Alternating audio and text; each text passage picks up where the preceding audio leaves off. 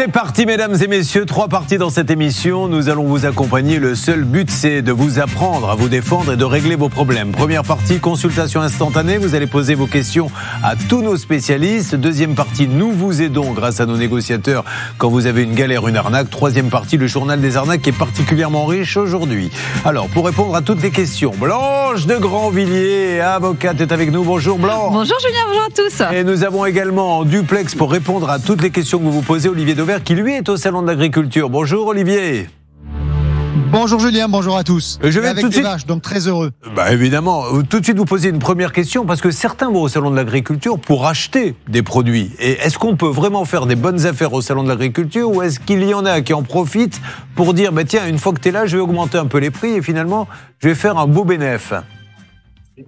Bon, dit de manière diplomatique hein, vis-à-vis notamment des organisateurs du salon de l'agriculture, c'est pas le lieu franchement pour faire des sacrées économies parce que les produits qu'on y trouve sont relativement chers. Je vais vous prendre quelques exemples. hein. Du fromage à 40 ou 50 euros le kilo pour du comté que vous trouveriez euh, 30 ou 40% moins cher dans votre supermarché. Euh, des yaourts qui sont vendus euh, par 4 et que vous allez payer entre 4 et 5 euros, ça fait relativement cher. Mais en réalité, ce qu'il faut accepter comme idée, c'est que vous achetez davantage que le produit que vous venez acheter. Vous achetez un bout de ferme, un bout de campagne, un, un- un bout de martine à la ferme, j'allais dire tout simplement, parce que c'est parfois les producteurs eux-mêmes qui vous le vendent. Et puis ensuite, il faut être honnête, ils ont des frais parce que la participation au salon de l'agriculture est une participation payante. Les mètres carrés de stand sont loués, le transport, l'hôtel, etc., etc. Donc euh, non, c'est pas le lieu pour faire des bonnes affaires. C'est le lieu juste pour acheter, allez, un petit bout de cette de cette France rurale que les citadins ont parfois du mal à, à avoir dans leurs Alors je reviendrai vers vous dans quelques instants parce qu'il y a aussi des moments où ils cassent les prix. Nous continuons les questions. Euh, Je n'ai pas Oui. dit bonjour à Madame Colon-Chéline, bonjour. Bonjour Monsieur Courbet, j'ai bien cru que j'allais devoir attendre une heure ou deux pour avoir un bonjour de votre Ça part. arrivera un jour, mais aujourd'hui, je vous le dis en temps et en heure. Non, mais c'est quand même incroyable de se faire parler comme ça. Caroline, tout à l'heure, on réglera votre problème, mais expliquez-lui qu'elle ne peut pas, elle me doit un peu de respect quand même, Caroline, non? Ah, un petit peu quand même. Merci, Caroline. On va bien vous aider, Caroline. Je vais vous mettre les meilleurs sur euh, votre cas. Elle a Merci, sa c'est toit- gentil. 57 000 euros de travaux et la toiture qui fuit de tous les côtés. On est d'accord? Exactement. Allez, on continue. Le matin, posez vos questions, profitez-en aux meilleurs avocats. Euh, Comment fait-on pour poser une question? Vous envoyez un mail à ça peut vous arriver m6.fr. Alors, une question pour Blanche qui est là. Oui, et c'est Véronique qui va la poser. Elle est en ligne avec nous sur RTL. Bonjour Véronique. Bonjour Véronique. Bonjour à toute votre équipe. Bonjour à vous Véronique, vous nous appelez d'où? J'appelle de l'Alain, dans Dordogne, à côté de Bergerac. Très bien, posez votre question à Blanche Grandvilliers, Véronique. Voilà, euh, j'espère que Blanche va pouvoir m'aider. Euh, ma Alors, fille. je vais euh, vous dire une chose, Véronique.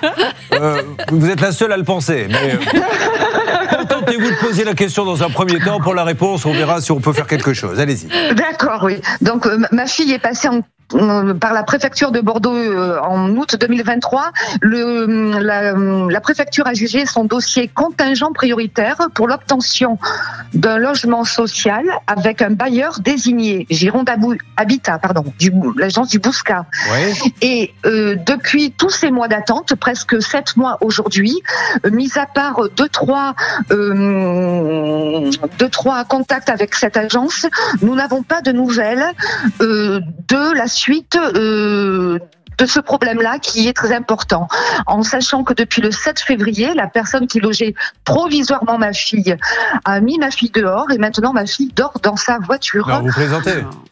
Euh, non, je ne plaisante pas. Euh, alors, elle a de la chance de travailler, donc euh, euh, voilà, elle, elle arrive quand même à se débrouiller un petit peu. Mais c'est surtout par rapport à cette agence et avec des commissions qui sont susceptibles de lui proposer des logements. On lui propose un logement qui ensuite est annulé. Tatati, enfin, c'est très Véronique. compliqué, c'est très flou. Alors Véronique, alors déjà, on va répondre à votre question et peut-être que Stan, celle des appels, alors c'était pas prévu, mais c'est le principe aussi de la consultation instantanée. Vous avez noté le nom du bailleur, essayons de l'appeler en parallèle. Blanche. Oui. Il se trouve qu'effectivement son cas a été jugé contingent prioritaire. Il y a des gens qui sont prioritaires pour le relogement compte tenu de leur situation, notamment parce qu'ils sont en situation de, de faiblesse ou de difficulté. Donc c'est le cas. Et généralement, on doit avoir un logement dans les trois ou quatre mois maximum, puisque justement, elle a été jugée prioritaire. Si on n'a on n'a pas de nouvelles, il faut saisir la, la commission d'allo au droit au logement opposable. Il faut absolument que votre fille continue ses démarches pour avoir euh, son logement, puisque elle a été été jugée prioritaire. Heureusement comme hein, vous qu'elle est prioritaire. Mais oui. Elle n'était pas prioritaire, qu'est-ce que ça serait? Alors, qu'est-ce que, qui s'est mis sur ce coup, s'il vous plaît, à la régie? Tout ça se fait en temps réel. Écoutez, c'est moi. Alors, vous essayez d'avoir cette fameuse régie au Bouscat Oui, j'appelle Gironde Habitat. Alors, très bien. Vous les appelez, vous me les basculez. Peut-être que pendant ce temps-là, Laura, vous pouvez récupérer le nom, prénom de la jeune fille, que l'on puisse donner des, des, hum, renseignements à ces gens-là quand on va les avoir. Allez, ne bougez pas, Véronique, on s'en occupe. Merci infiniment. Oui, vous en prie. Une autre question. Euh, Il y a plein de spécialistes qui sont là. Profitez-en. Comment fait-on pour poser les questions chaque jour en la posant maintenant? On peut passer demain, Céline. Vous nous envoyez un mail à ça peut vous arriver m6.fr. Une question de François qui est en ligne avec nous sur RTL. Bonjour François, elle est pour qui la question François? Euh, Olivier Daubert, bonjour à tous. Daubert Il s'appelle pas Daubert, vous confondez avec le roi. Nous c'est Dauvert, c'est le bon roi Dauvert qui met ses culottes à l'envers d'ailleurs, comme le Dagobert. Qu'est-ce que vous avez Eh comme oui, question c'est mon accent qui vous a fait entendre Daubert et pas Daubert. Ah très bien, vous avez vraiment dit Dauvert. Vous nous appelez d'où exactement François Ah, ben, de Neuilly. Ah, de- bon, Ah bon effectivement, vous avez vraiment l'accent de Neuilly. Alors là, on est loin de Auteuil-Neuilly-Passy, euh, Télémon-Ghetto. Bon, alors François, posez votre question. La ligne n'est pas très bonne à Olivier Dauvert, qui lui est en duplex au salon de l'agriculture et qui va vous répondre. On vous écoute. Bon, moi j'achète du lait demi-écrémé, nature. Pas le, pas le microfiltré par l'UHT, du nature. Et j'ai constaté qu'ils n'avaient pas le même goût. Alors j'ai regardé sur les étiquettes, et il y en a un, c'est, elles ont strictement les mêmes informations nutritionnelles. Je vais pas demander à Olivier quel est le plus lourd, c'est pas ça la question. Je voudrais savoir pourquoi ils n'ont pas le même goût. Alors je suis allé plus loin, j'ai vu que sur l'étiquette, il y avait un, il y avait écrit lait pasteurisé origine France. Sur l'autre, il y avait fabriqué en France à partir de lait français. Est-ce que c'est suffisant pour expliquer la différence de goût Ou est-ce que, parce qu'il y a écrit lait de montagne, c'est une AOC qui donne, qui garantit un certain goût? Voilà. Alors, ok. Alors, vous savez ce qu'on va faire? Là, on va appeler cinq chercheurs du CNRS qui vont essayer de comprendre la question que vous nous avez posée.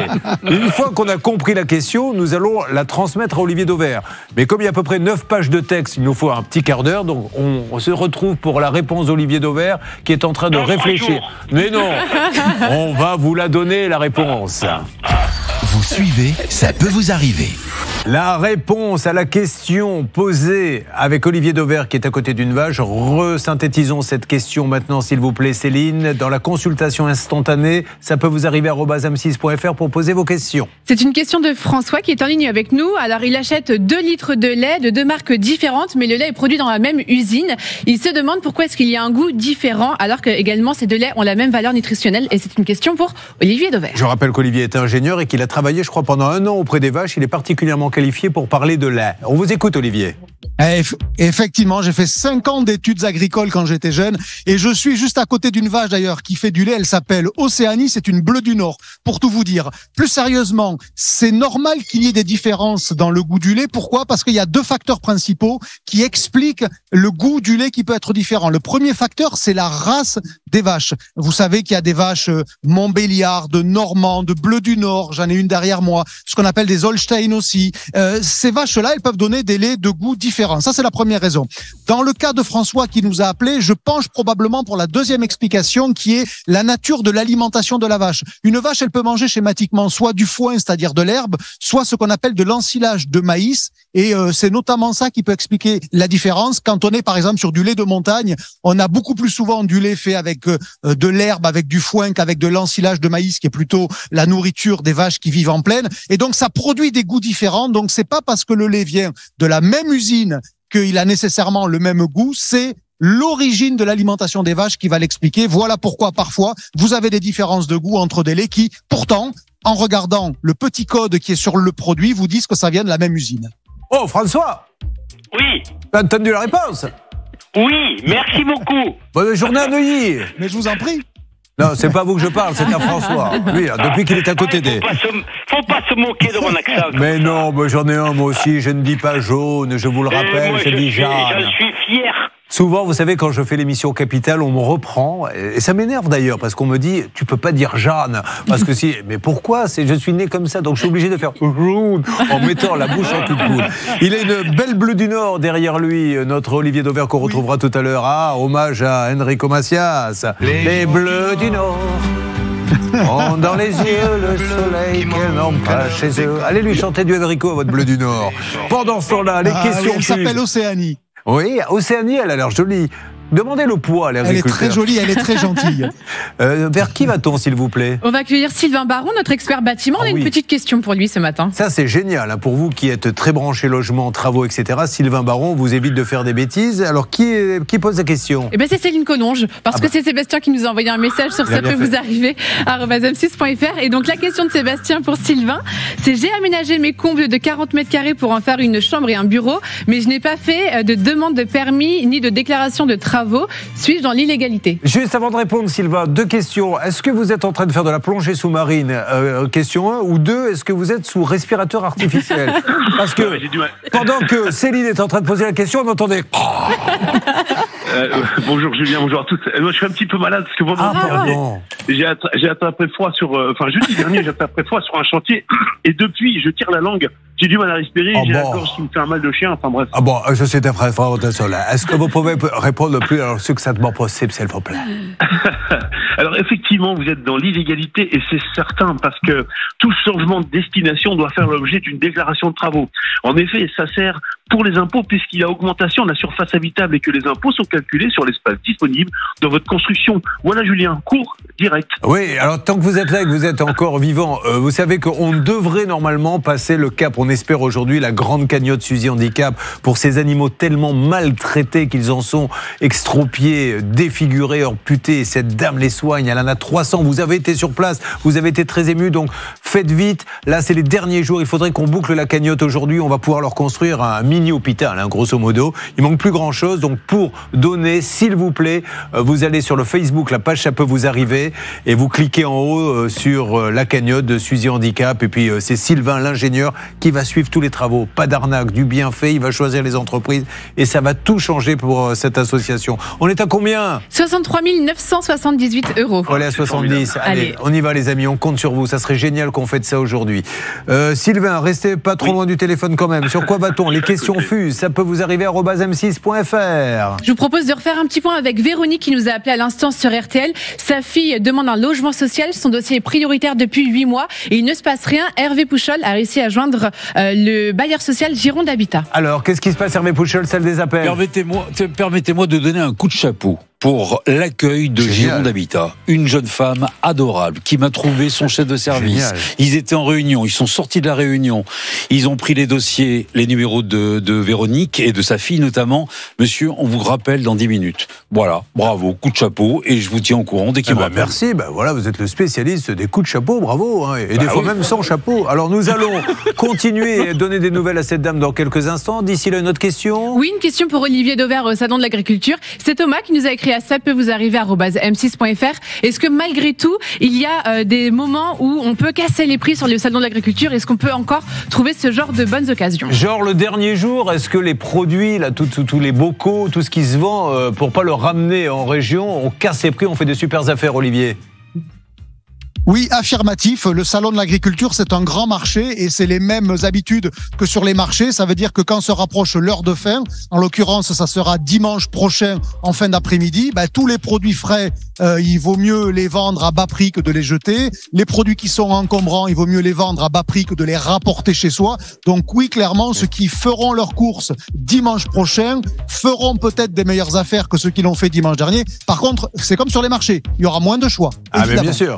Alors, une question qui est posée. On va mettre la photo sur le Facebook, la page Ça peut vous arriver de votre veste que vous portez aujourd'hui. Vous avez toujours des vestes. On est bien d'accord que c'est le modèle du Stucru, euh, puisque c'est une veste. Absolument. Hein, on est d'accord Ouais, Parce qu'il a la veste à carreaux euh, bleus et noirs, euh, le, le logo. Bah, c'est très bien. Je savais pas qu'il faisait ça. C'est super. Elle vous va super bien, Eh oui, Olivier. voyez. Olivier Voyez, on que la l'on. consommation, on la porte. Mais bien sûr, Olivier Dauvert que l'on retrouve sur son site internet appelé très modestement olivierdauvert.fr, mais également dans des livres passionnants sur la conso. Moi, je les dévore chaque jour, aux toilettes notamment. Non, non, mais je plaisante, ils sont super intéressants chez Olivier Dauvert euh, Édition. Alors, dans une seconde, déjà, je voudrais qu'on fasse un petit coucou à Aurélie qui est là. Elle est conductrice de poids lourd, Aurélie, attention, et elle a payé 3000 euros pour une voiture qui ne marche absolument pas. On est d'accord Caroline, on l'a vu, la toiture qui fuit. Nous avons le Émeric qui est avec nous. Bonjour Émeric. Bonjour. Émeric, chèque falsifié, mais alors là, grande nouveauté. Ils n'ont même pas falsifié le nom. C'est-à-dire qu'ils n'ont pas touché au chèque, ils l'ont simplement pris, ils l'ont volé dans une enveloppe, et au dos, ils ont mis leur numéro de compte. Eh ben, ça passe, comme à la poste. Et puis d'autres questions à venir. C'est ça peut vous arriver avec plein de surprises, hein, vous allez voir ce matin. Ça peut vous arriver. Les dernières questions, on fera une petite session en fin d'émission également. Voici une nouvelle question posée, s'il vous plaît, Céline, par qui? Par Mélodie sur ça peut vous arriver m6.fr et c'est une question pour Blanche de Grandvilliers, notre avocate. Notre chiot aboie de temps en temps, nos voisins menacent de porter plainte et de nous le faire retirer. Ils ne sont pas du tout ouverts à la discussion, que faire?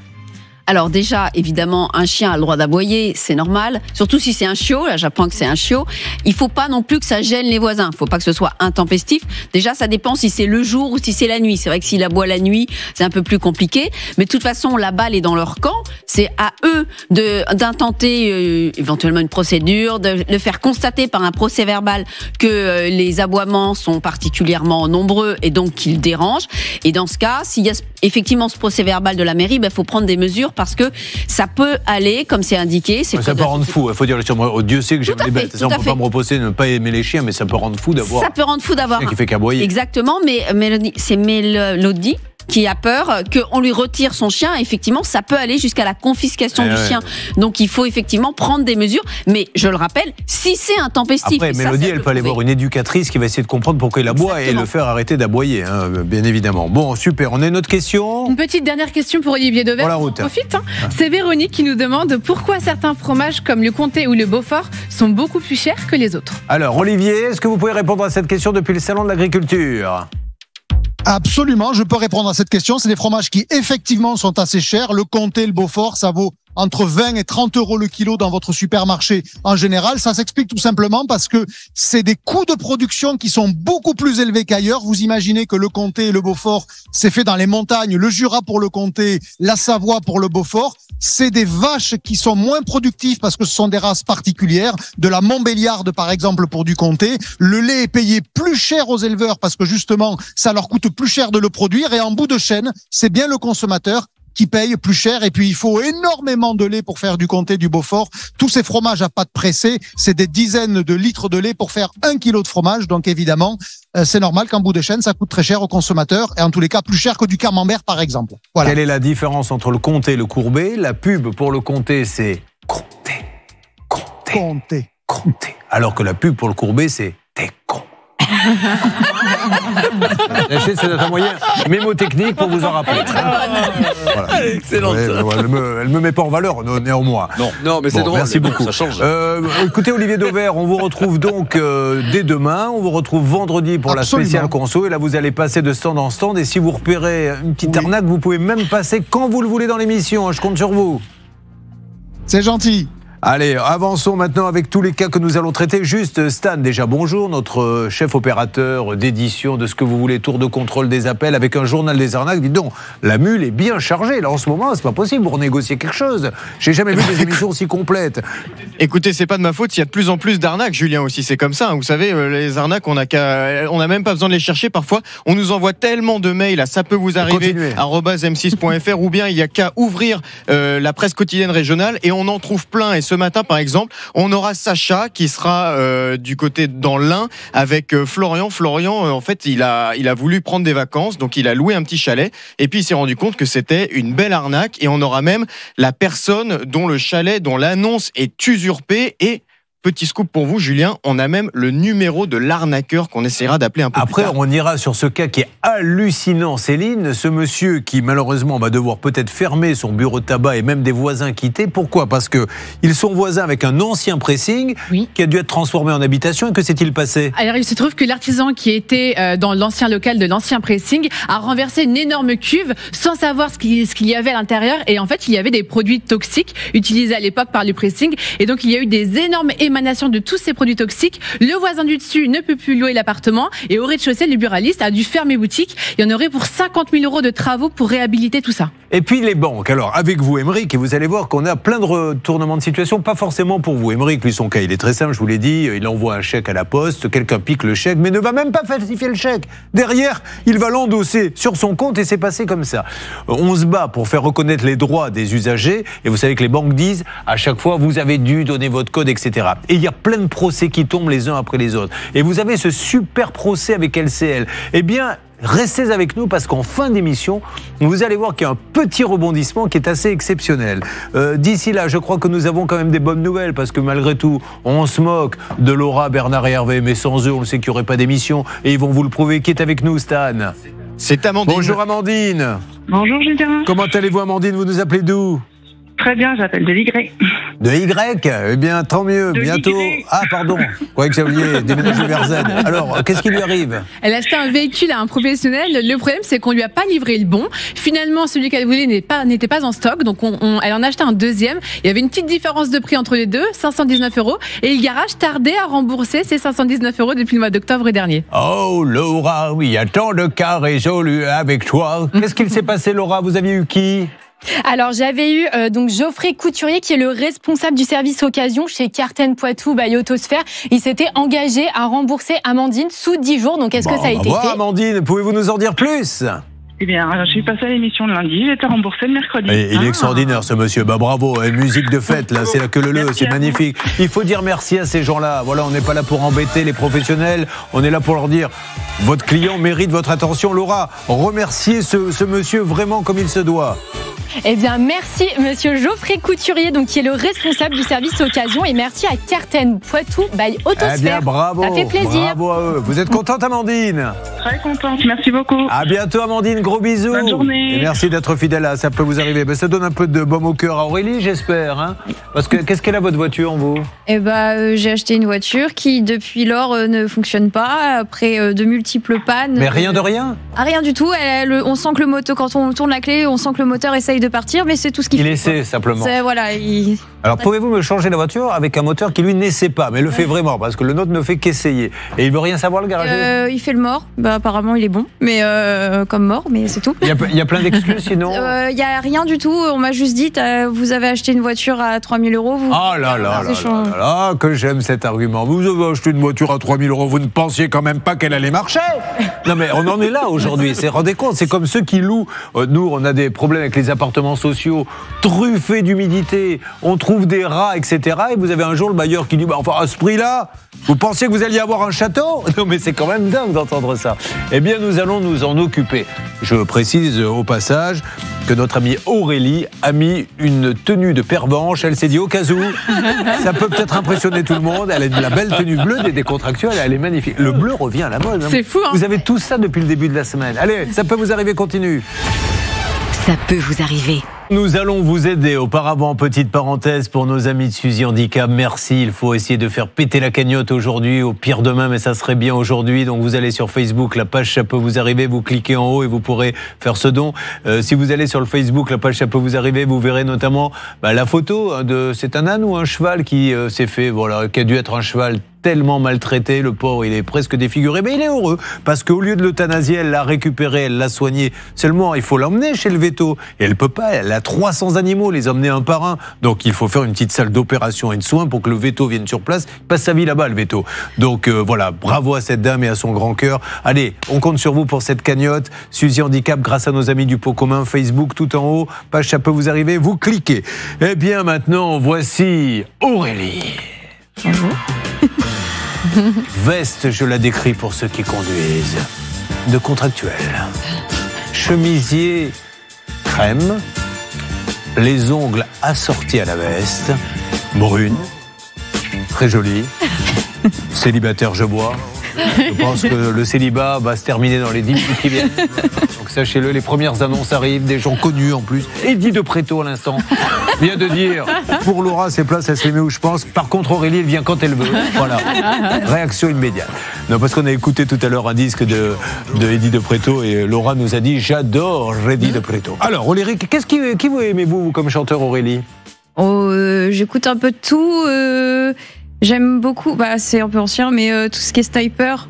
Enfin, les, les snipers. Les snipers, c'est un groupe Ouais, ouais, c'est un groupe. ouais. Ah bah alors là, alors regardez si vous avez les snipers dans la... Je ne connaissais pas du tout, mais c'est quel site? C'était du, du C'était en 2003, ouais, euh, tout ce qui est gravé dans la roche, tout ça. D'accord, et à part les, les snipers, quelque chose que Euh. au moins une personne dans le studio connaît Calogero, j'aime Ah bon, ça on pourra vous en mettre. Alors, vous êtes conductrice poids lourd. Racontez-nous un petit peu, vous faites du long trajet? Non, euh, je fais de la donc euh, je travaille à la Steph et euh, du coup je suis euh, je livre de la marchandise euh, sur euh, À la Steph? Oui, c'est du frais. On fait du D'accord. frais. Et euh, vous le livrez comme un ouragan, je suppose, très, très Euh, rapidement non, non. euh, Non mais vous, vous avez toujours voulu conduire des poids lourds ou c'est le, le- le hasard de la vie qui vous ont conduit à faire ça parce qu'il vous fallait absolument un boulot euh, non, c'est alors euh, j'en avais parlé quand j'étais petite. On m'avait dit déjà comment, enfin, commence par conduire une voiture. Ouais. Quand j'ai commencé à conduire une voiture, on m'a dit non. Et, euh, et en fait, euh, j'étais pas très douée.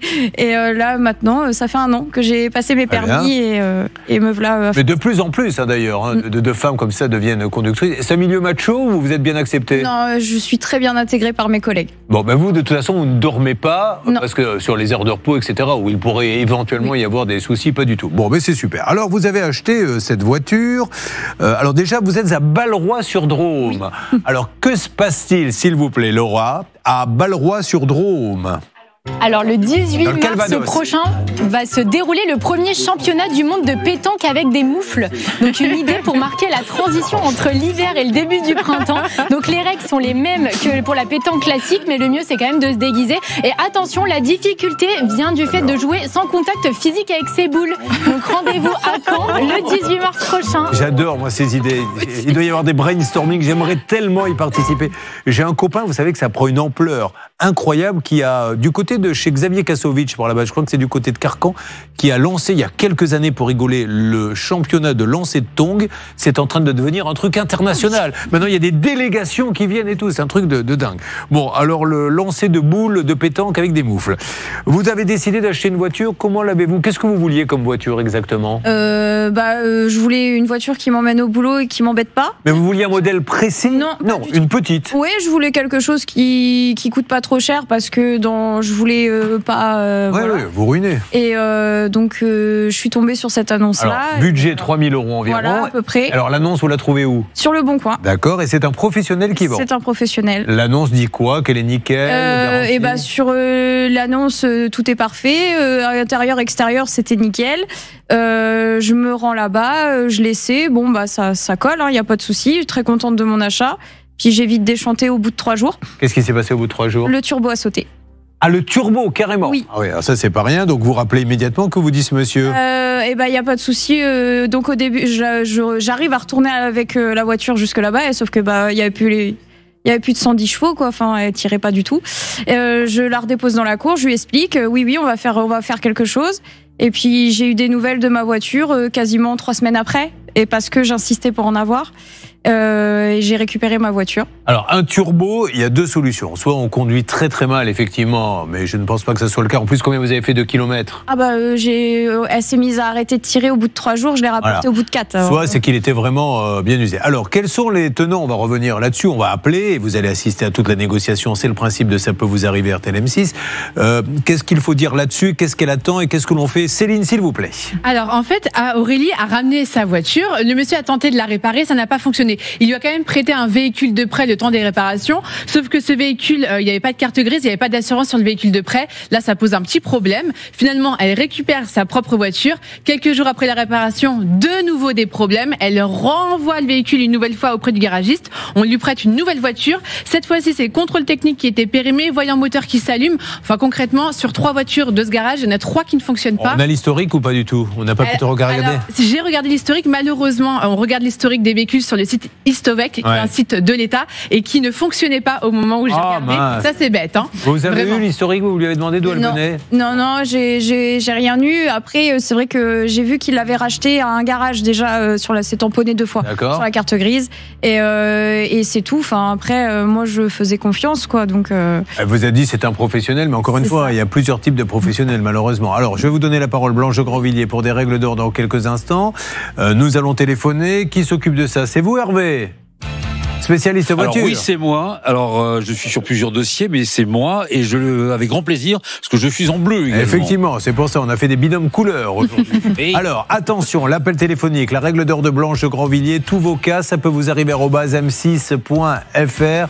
N'oubliez pas ma petite cagnotte, j'aimerais bien la boucler aujourd'hui. Et on avance tous ensemble, mes amis. Ça peut vous arriver à votre service. Elle s'appelle Aurélie, elle est avec nous, elle conduit des poids lourds, elle a acheté une petite voiture, mais c'est pas ça le plus troublant. Le plus troublant, c'est que cette femme de 31 ans écoute du sniper. Et le plus troublant, c'est qu'on s'est tous regardés en se disant de quoi parle-t-elle? Nous sommes partis dans la discothèque. Il a fallu chercher, mais nous avons trouvé. Voici ce qu'écoute Aurélie. Je vous le dis, comme elle est célibataire, si vous voulez vous mettre en union avec elle, il faudra aimer ça. Dans ce rap bis, on est arrivé les mains dans les poches. À l'époque, c'était en voile beat, on fait le truc à l'arrache. Et laisse parler la rage. Moi et mes potes, on veut graver ça dans la roche. Oh la vache, c'est vachement bien. C'est bien. Le blaze a tourné, tu connais la suite. Mais oui, je te jure, j'ai voulu acheter la caisse quand j'ai démarré le turbo, l'a explosé. Je vois ce type, il m'a dit, ouais, moi je suis mort avec ta bagnole, faut pas m'avancer. Déjà, je suis moins sur la paille. Je me suis fait ni- Allez, ça, bah, on on n'est pas non plus dans une cour d'école. Alors, nous allons rappeler. Ouais, c'est pas mal, dites donc, mais c'est quand même violent comme parole. Vous qui êtes toute douce comme ça. En apparence. Mais vous connaissez les paroles par cœur? Oui. Allez-y pour voir. Non. Non, mais je, vous demande pas de rappeler, c'est parce qu'on comprend pas bien ce qu'ils disent. Qu'est-ce qu'ils disent exactement Non. Parce que c'est grossier ce qu'ils disent. Bah, c'est pas. Oui, c'est. Ne me dites pas qu'ils disent des gros mots. Non, non, quand même pas. Oh, voilà, c'est. J'ai eu peur. Alors, attention, on rappelle ce qui arrive justement. Ah, Aurélie et sa bagnole Euh, S'il vous plaît, Céline. Aurélie a acheté une bagnole à quasiment 3000 euros en professionnel. Le problème, c'est que depuis l'achat, donc depuis le septembre, 30 septembre dernier, eh bien, le le véhicule ne fonctionne pas. Il faut changer le turbo. Le vendeur semble être de bonne composition. En tout cas, au début, il tente de faire bouger les choses. Et sauf que là, je pense qu'il est un peu agacé, en fait, parce qu'il n'arrive pas à réparer ce véhicule. Il n'a pas répondu aux deux derniers courriers recommandés envoyés par votre protection juridique. Et il continue de vendre des annonces. Donc, on va pouvoir l'appeler et puis euh, parler avec lui. D'abord, il y a la règle de droit, Blanche de Grandvilliers, ta mère en, en string aux prises uniques. Alors, que, peut-on dire? C'est branche de Glanvilliers, Julien. Ah, c'est vrai. Il y a quand même une dame qui a confondu et qui a dit J'aime beaucoup cette avocate, branche de Glanvilliers. Allez-y. Pas du tout, c'est vous qui avez Oui, ah, trouvé. pardon, excusez-moi. Moi, Je mets ça sur le dos des auditrices. Donc euh, effectivement, le, le vendeur a réparé une première fois, il a réparé une deuxième fois, puis il a trouvé que ça suffisait, Julia. Il a dit bah écoutez, j'ai déjà été bien gentil. Alors on peut lui rappeler les articles du code de la consommation qui sont applicables. Donc c'est un bien d'occasion. Donc la garantie de conformité s'applique, ce qui fait que tous les défauts qui apparaissent dans le délai d'un an, donc là on parle de quelques jours, sont présumés être antérieurs. Évidemment que sa garantie est engagée, il doit réparer et il doit des indemnités à Aurélie. Et Aurélie, eh bien, on va demander à Hervé de lancer l'appel, s'il vous plaît. Nous appelons cette société, voyons si ça répond. Hervé Pouchelot, vous m'en dites plus? Wesh, euh, je vais te l'envoyer ton numéro de téléphone. Alors, euh, au niveau, je vais vous prendre à 15h mercredi pour le cours d'accent rap, parce que là, on n'y est pas du tout. Hein. non, là, c'est, euh, je sais pas, quelqu'un qui a un caillou dans la bouche et, et qui essaie de rapper, c'est différent. Alors, on y va.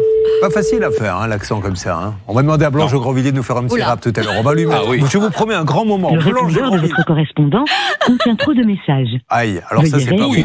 Mais c'est voilà, tout le temps comme ça C'est tout le temps comme Bon, ça. alors essayez par euh, différents moyens, puis je sortirai le porte-voix. Voyez s'il n'y a pas une petite enquête de voisinage. Vous êtes le grand spécialiste Hervé Pouchol, voir. D'accord. C'est à quoi vous y avez été déjà à ce garage Je me suis déplacée euh, même. Qu'est-ce qu'il y a là-bas? Euh, Et bah comment des voitures. Enfin. Ah, Je veux dire, c'est, il est physique. s'il il est- est- Ah oui oui. Il est des gens qui vendent est- en appartement. Oui oui, euh, mais par contre pour avoir les patrons c'est quasi impossible. On tombe toujours sur les salariés. euh, Bon, mais il y a des salariés, donc ça veut dire qu'il y a des commerces à côté que l'on euh, non appeler non c'est sur euh, le bord d'un grand axe euh, Ah. et. euh, Bon, alors on y va, on va essayer d'avoir quelqu'un. Euh, quant à vous, Blanche Grandvilliers, tout le monde veut savoir si une Blanche Grandvilliers, on rappelle qu'elle habite, elle est châtelaine. Est-ce que vous seriez capable de nous Ah non, je vais- dire attends, je vais être quelques mots sur comment il s'appelle Sniper? Allez-y, dites-moi euh, un truc du style, par exemple, il va falloir se battre pour qu'elle soit remboursée parce que la pauvre s'est fait avoir et on vous met du Sniper. C'est parti, voici la rappeuse Branche de Glanvilliers. Et Julien, t'es bête, comment tu veux que je rappe Moi, j'ai une châtelaine. Ça marche. Ça marche. C'est Jean Gabin dans le corps. Je sais, je sais. C'est Jean Gabin dans le corps de Blanche. C'est vous qui avez voulu, hein Vous voyez, comme quoi, des fois, on essaie de trouver des vannes, on passe des heures à les écrire. Il suffit de demander à Blanche de Grandvilliers de faire un peu de rap et ça marche aussi bien. Bon, allez, on avance sur le cas d'Aurélie. Je rappelle qu'il y a la Caroline qui est avec nous, une toiture qui fuit 57 000 euros. Je rappelle qu'il y a également Emeric, histoire de chèque incroyable, puisque maintenant ils ne falsifient même plus le nom. Ils ont pris son chèque et au dos, ils ont mis leur numéro de compte et c'est passé. Et en plus, aujourd'hui, on ne le rembourse même pas avec des nouvelles, des super procès dont on vous parle avec les différentes banques. Vous allez voir des nouvelles très surprenantes tout à l'heure en fin d'émission. Dans Ça peut vous arriver, chaque problème a sa solution. Alerte, le garage est en ligne, Aurélie. Bonjour, madame, m'entendez-vous Madame Caroline? Caroline? Allô? Vous m'entendez? Est-ce que Allô? Vous- Oui, c'est Caroline? Non, c'est Karine. Alors Karine, bonjour Karine. Karine, je me présente, c'est Julien Courbet. Au moment où je vous parle, nous sommes en direct sur RTL et simultané M6. Je cherche à voir le garage Stauto car je suis avec une de vos clientes, c'est Aurélie Delaunay qui a acheté quel modèle de véhicule Aurélie Mazda 3. La Mazda 3 et le problème c'est qu'elle a un gros souci. Alors expliquez en deux mots, peut-être que c'est d'abord, ils vous connaissent, hein, mais euh, vous savez qui c'est cette dame? Euh, oui, oui, c'est la, la patronne. D'accord. Alors qu'est-ce que vous voulez aujourd'hui? Parce qu'elle est gentille, elle est là, nous parle, dites-lui. Euh, et bah, je voudrais juste qu'on me redonne mes, mon argent et que vous récupériez votre voiture parce que clairement, euh, elle n'est pas en état de fonctionnement. Euh, je, j'ai pas, elle a passé plus de temps chez vous depuis que je l'ai que chez moi et à, être- et à m'emmener au boulot. Quoi. Et là, aujourd'hui, en plus, elle prend l'eau, donc euh, d'un bout à l'autre. Alors, euh, ça devient compliqué. Alors madame, est-ce que vous êtes consciente des problèmes de cette voiture? Allô, madame? Allô? Oui. Vous avez entendu ce qu'a dit votre cliente ou pas du tout?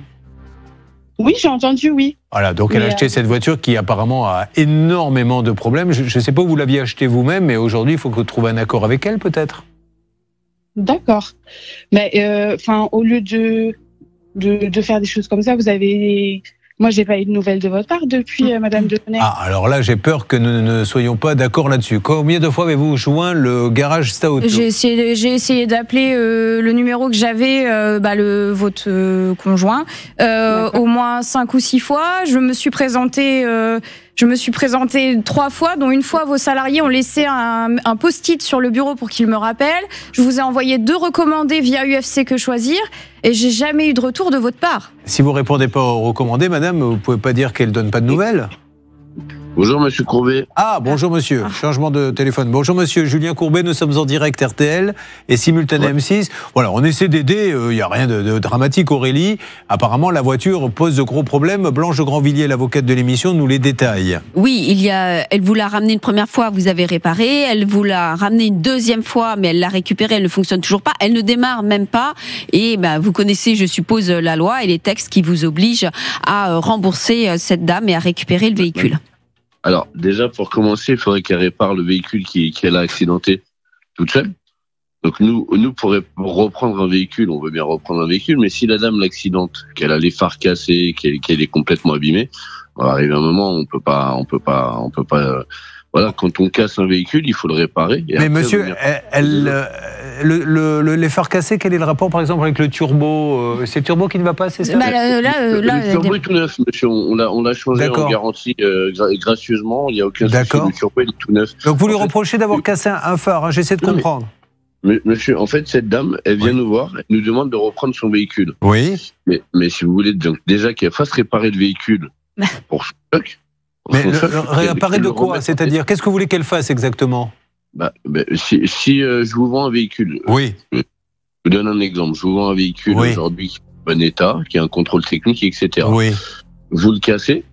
Mais je le casse comment? Dites-moi comment elle est cassée exactement. Elle a eu un accident, cette dame, elle a eu un accident. Vous avez eu un Euh, accident? J'ai eu un accident, mais pour euh, les- je vous ai fait part. Mais, Non mais madame Delaunay, attendez, maintenant on va, on va mettre les choses au clair parce que c'est bien beau de toujours incriminer les garages. Oui.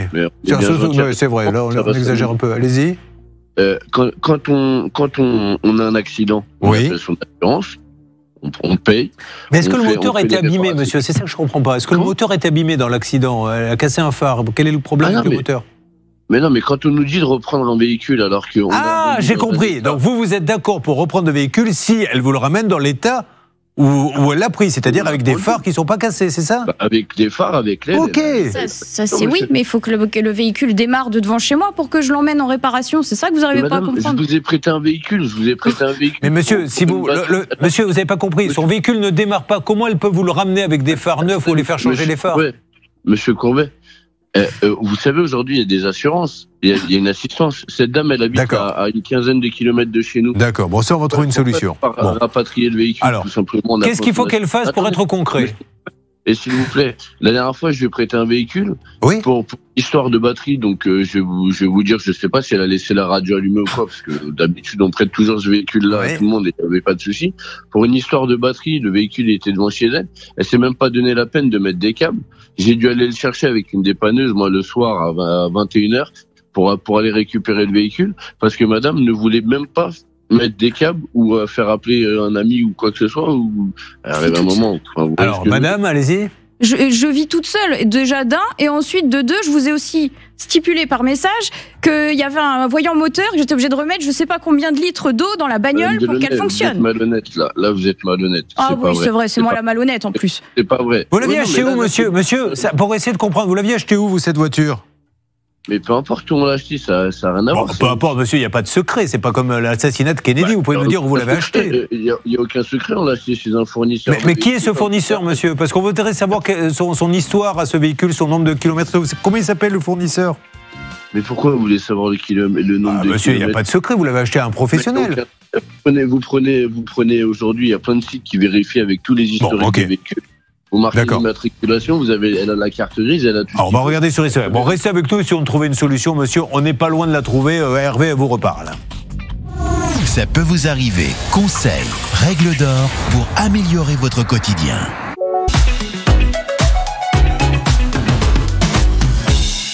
Merci d'être avec nous. Nous sommes là pour vous aider grâce à l'équipe de négociateurs. Et nous sommes en train d'aider Aurélie qui est avec nous dans le studio. Aurélie qui a acheté une petite voiture chez un garage. Et malheureusement, Céline, très rapidement, les choses ont mal tourné. Trois jours après l'achat, problème de turbo, problème de filtre à particules sur le véhicule. Il est vrai que le vendeur a tenté de faire des réparations par deux fois. Il lui a même prêté des véhicules de prêt. Malheureusement, force est de constater que six mois après l'achat, le véhicule ne peut pas rouler. Alors, nous avons appelé Sta Auto. La présidente est Caroline Da Silva, mais visiblement, un monsieur a repris le téléphone qui dit Moi, euh, avant de parler de quoi que ce soit de la récupérer, il faut qu'elle me la répare. Car elle a eu un accrochage qu'elle ne nie pas. C'était euh, sur un rond-point, une dame vous est rentrée dedans. Oui. Donc, vous n'êtes pas en faute. Bah non. Votre assurance va donc vous rembourser. Oui. Pour cela, il faut amener la voiture chez un carrossier. C'est mieux. Mais pourquoi vous n'amenez pas la voiture chez le carrossier? Bah sans... quand ça démarre pas, c'est pas très facile. c'est que la voiture ne démarre pas du tout. Alors elle dit, monsieur, je vous ai acheté une voiture qui démarre pas, je suis tout à fait prête à vous la ramener, mais euh, aidez-moi au moins à la faire démarrer. Voilà où nous en sommes. Hervé Pouchol, que pouvez-vous nous dire? J'ai discuté avec ce monsieur pendant une dizaine Bien. de minutes. Il est encore en ligne avec nous. Il a des propositions Eh à faire. oui. C'est l'essentiel. Je vous le bonjour, passe. rebonjour monsieur, de nouveau Julien Courbet, RTLM6. Qu'est-ce que vous voulez dire à votre cliente, monsieur? Ah bah, mais ce que je lui ai dit depuis le départ, qu'elle qu'elle nous fasse rapatrier le véhicule, qu'elle nous- son assistance, c'est gratuit, nous fait rapatrier son véhicule. Et, et on, on réglera son problème de démarrage sans aucun souci. Il y a peut-être tout simplement euh, une batterie qui est HS, ou, ou je ne sais pas, mais en tous les cas, il faut, il faut vérifier. Et nous, sans, sans voir le véhicule, on va pas pouvoir le réparer par télépathie, malheureusement. D'accord. Qu'est-ce qu'il y avait comme voyant qui s'allumait, madame? Euh, sur euh, celle-là, il y avait aucun voyant. Justement, ça le problème, c'est le moteur essaye de partir, il part pas, et c'est pas un problème de batterie. Donc là, oui, là, ça fait les faire. Bon, ok. Alors on va essayer de. Donc, euh, elle va vous la. Oui. Je vous écoute, monsieur. Parce que euh, Madame Delaunay dit que c'est pas un problème de batterie. Comment elle peut être sûre de ça, cette dame Puisque quand on lui prête un véhicule, elle est même pas capable de mettre un coup de câble quand on lui prête un véhicule. Monsieur, euh, insulter le client, c'est une. euh, elle vous a fait confiance et vous lui parlez comme ça? Elle est même pas capable. Vous savez même pas. Vous étiez là quand la voiture a pas démarré, monsieur. Vous savez pourquoi elle a pas démarré?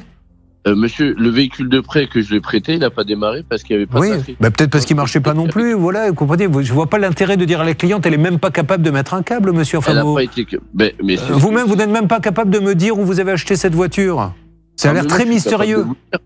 Moi, moi, je peux très bien aller au bureau, vous sortir tout l'historique. Eh ben alors, euh, on vous a demandé, ça nous rassurait de savoir où vous l'avez acheté. Je vous ai demandé ça gentiment, monsieur, tout mais à l'heure. fait, monsieur Courbet, ça va rien changer au problème puisque le véhicule. Si, parce qu'elle voudrait connaître l'historique de cette voiture. Céline. Bonjour monsieur. Ce qui me dérange un tout petit peu dans le dossier, c'est que là, vous semblez rejeter la faute sur votre cliente. En fait, quand elle est rentrée dans votre garage, elle vous a fait confiance. Le contrôle technique était quasiment vierge. Il y avait juste un petit souci sur les feux de brouillard. Pas de quoi arriver à changer un turbo et à changer un filtre à particules. Ça fait quasiment six mois qu'elle a acheté le véhicule. Est-ce Voilà. qu'on ne peut pas se dire qu'on part sur un remboursement, déduction Oui, faite des réparations. Du monsieur, il dit, vous me la ramenez la voiture, Oui, je ne vais pas la chercher. oh, elle, elle peut le ramener, peut-être qu'elle est d'accord pour jamais- ramener le véhicule. Oui, mais enfin, il faut, on va voir J'ai comment. jamais refusé quoi que ce soit, madame. D'accord. J'ai juste demandé à ce qu'on me rapatrie le véhicule. Elle a une assistance, elle a une assurance. Vous appelez l'assistance, ça vous coûte 5 minutes et il vous D'accord. rapatrie le véhicule. Juste, monsieur, elle vous a envoyé deux recommandés. Pourquoi vous n'avez pas été les chercher? Mais monsieur, je, euh, je- si, si je vous dis ma vie, je voilà, j'ai pas envie de, de, de m'expliquer de trop. J'ai eu cette télé, j'ai eu cette personne au téléphone, j'ai eu son conjoint au téléphone. J'aurais juste expliqué. Un conjoint Non, il n'y a pas de conjoint. Ah bon, parce que vous avez un ami qui est en Bretagne. Un ami, un ami, mais pas Enfin, un monsieur, euh, je suis désolé, quand on est professionnel et qu'on reçoit des, des recommandés, le, le B à bas, c'est d'aller les chercher. Si vous n'allez pas chercher les recommandés de vos clients, comment voulez-vous qu'il y ait un, un- un climat? Bon, allez, on va trouver une solution. Je vous demande encore quelques secondes. Blanche Grandvilliers va nous dire deux, trois petites choses. On va voir comment on peut faire rapatrier cette voiture. On doit pouvoir le trouver et, et on va en finir avec ça. Par contre, je veux être sûr des engagements qui seront pris. Vous suivez, ça peut vous arriver. On va bien réussir à trouver un accord quand même. Alors, Blanche de Grandvilliers, euh, Hervé Pouchol continue de parler à ce monsieur. Ce qu'on souhaite exactement, vous me dites si je me trompe, c'est que la voiture soit ramenée là-bas. Alors, on va voir comment on peut la ramener.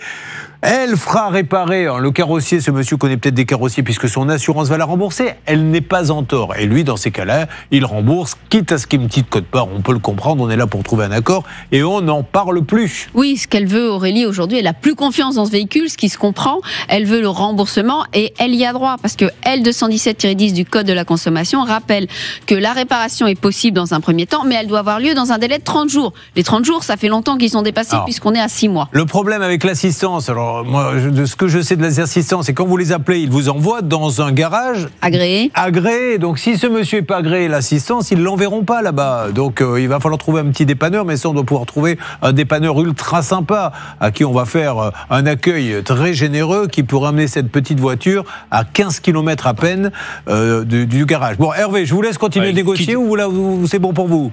Oh bah écoutez, euh, si vous pouvez me laisser quelques Oui. minutes, ce monsieur est à 15 minutes, il a un camion ben, je suis en train d'essayer de voir comment on Et peut s'arranger. Il est ouvert au dialogue, on va essayer de trouver Allez, une on avance. Dans quelques instants, on on va voir ce qui se passe. Euh, pendant ce temps-là, Stan, il y a quelques dans la première partie de l'émission, je rappelle que tous les matins, quand on ouvre hein, euh, sur nos antennes, vous pouvez poser des questions à des spécialistes. Une dame a posé une question à Blanche. Laquelle, Blanche? Elle, elle avait sa fille qui avait un droit au logement prioritaire et elle n'avait toujours pas de logement alors que cela faisait presque 8 mois, Julien, qu'elle attendait. Alors, nous avons Laura, de nouveau cette dame qui est en ligne avec nous.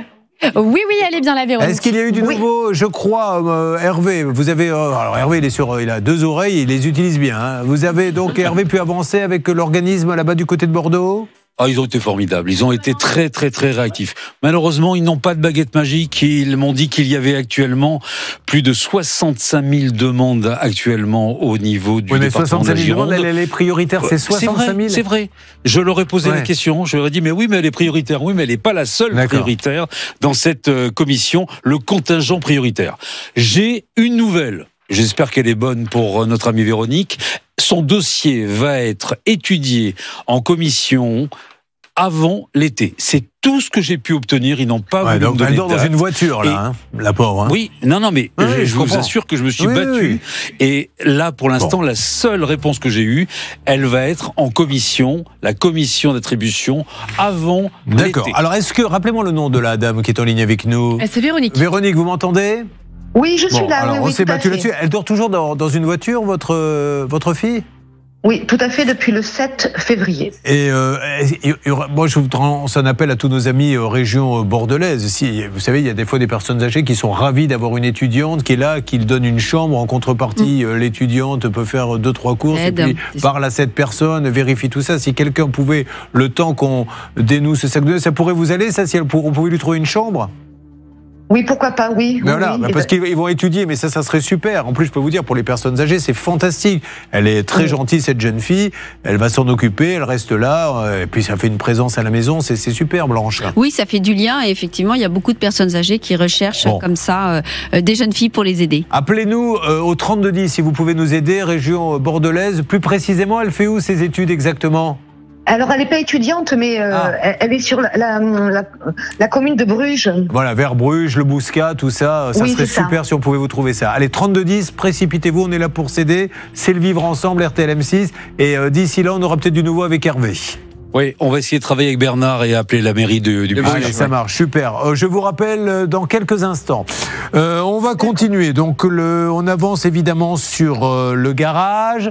Et euh, je vous propose maintenant euh, de passer à autre chose. Qu'est-ce qu'on a, Stan? On a peut-être des bonnes nouvelles annoncées Eh ben oui, je vous propose de faire un coucou à Luc qui est en ligne Un avec coucou, nous. Vous voulez que je fasse le coucou?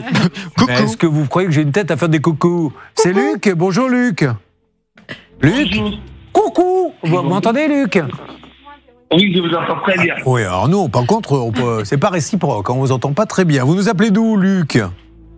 Oui, je vous appelle de. Nya. Je ne connaissais pas ah, de lécher. On n'entend pas très bien. La, la, la ligne n'est pas bonne. Alors, encore un problème de voiture. Et elle est en train de se dire, là, Aurélie, ça résout les problèmes de tout le monde sauf le mien. Et elle n'a pas tort. Qu'est-ce qui lui est arrivé à Luc? Il a acheté une boîte euh, de vitesse à 1000 euros auprès d'un professionnel, une caisse automobile. C'était en novembre 2022. Il l'a reçue, mais elle était défectueuse. Il attend un remboursement. Ça fait un an quasiment qu'il attend 1000 euros de remboursement. ce- Et qui s'était occupé de ça? C'est vous, Stan Maxence. Ah non, il y a eu Non. Maxence. Il y a eu Maxence. Stan, allez-y. C'est ça, on avait notre envoyé spécial Maxence qui avait été sur place au garage. Il avait euh, rencontré euh, la comptable de la société du garage euh, qui avait vendu cette voiture, qui s'était engagé à rembourser Luc très rapidement. Est-ce que ça a été Alors, fait? Luc, qu'est-ce qu'on dit? Merci beaucoup.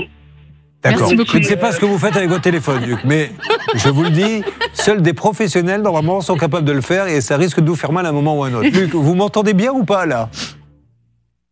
Bon, alors peu importe. Est-ce que c'est réglé ou pas? Je sais pas ce qu'il fait, Luc, avec son Oui, téléphone. a, ce qu'on a compris de. Luc, c'est qu'il a dit, on dit merci beaucoup parce qu'il a bien été remboursé Non, mais moi, je voulais pas de qu'il me dise 1000 merci. Je euros. voulais dire qu'est-ce qu'on dit, qu'est-ce qui s'est passé? Je n'en suis quand même pas à, à parler aux gens comme si c'était des enfants de 5 ans. Eh, qu'est-ce qu'on dit, Luc? On dit merci, monsieur Courbet. Bon, et il met pas ses mains sur la table.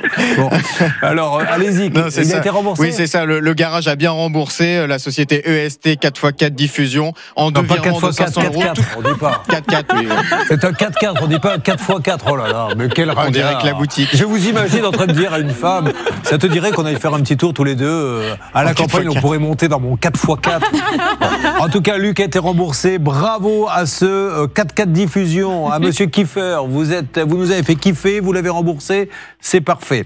On a plein de choses à faire encore et vous allez voir, le journal des arnaques, c'est un des meilleurs de la semaine. Tout à l'heure dans la troisième partie de l'émission. Ça peut vous arriver.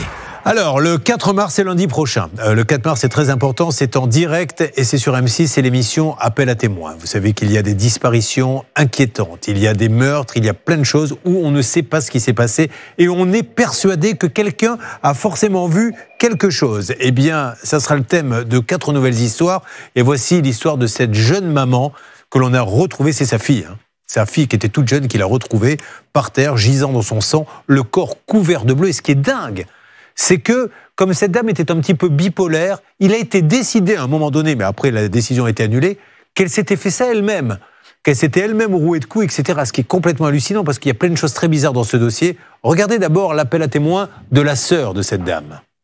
Bonjour, je m'appelle Lucie, je suis la sœur de Julie Brocard.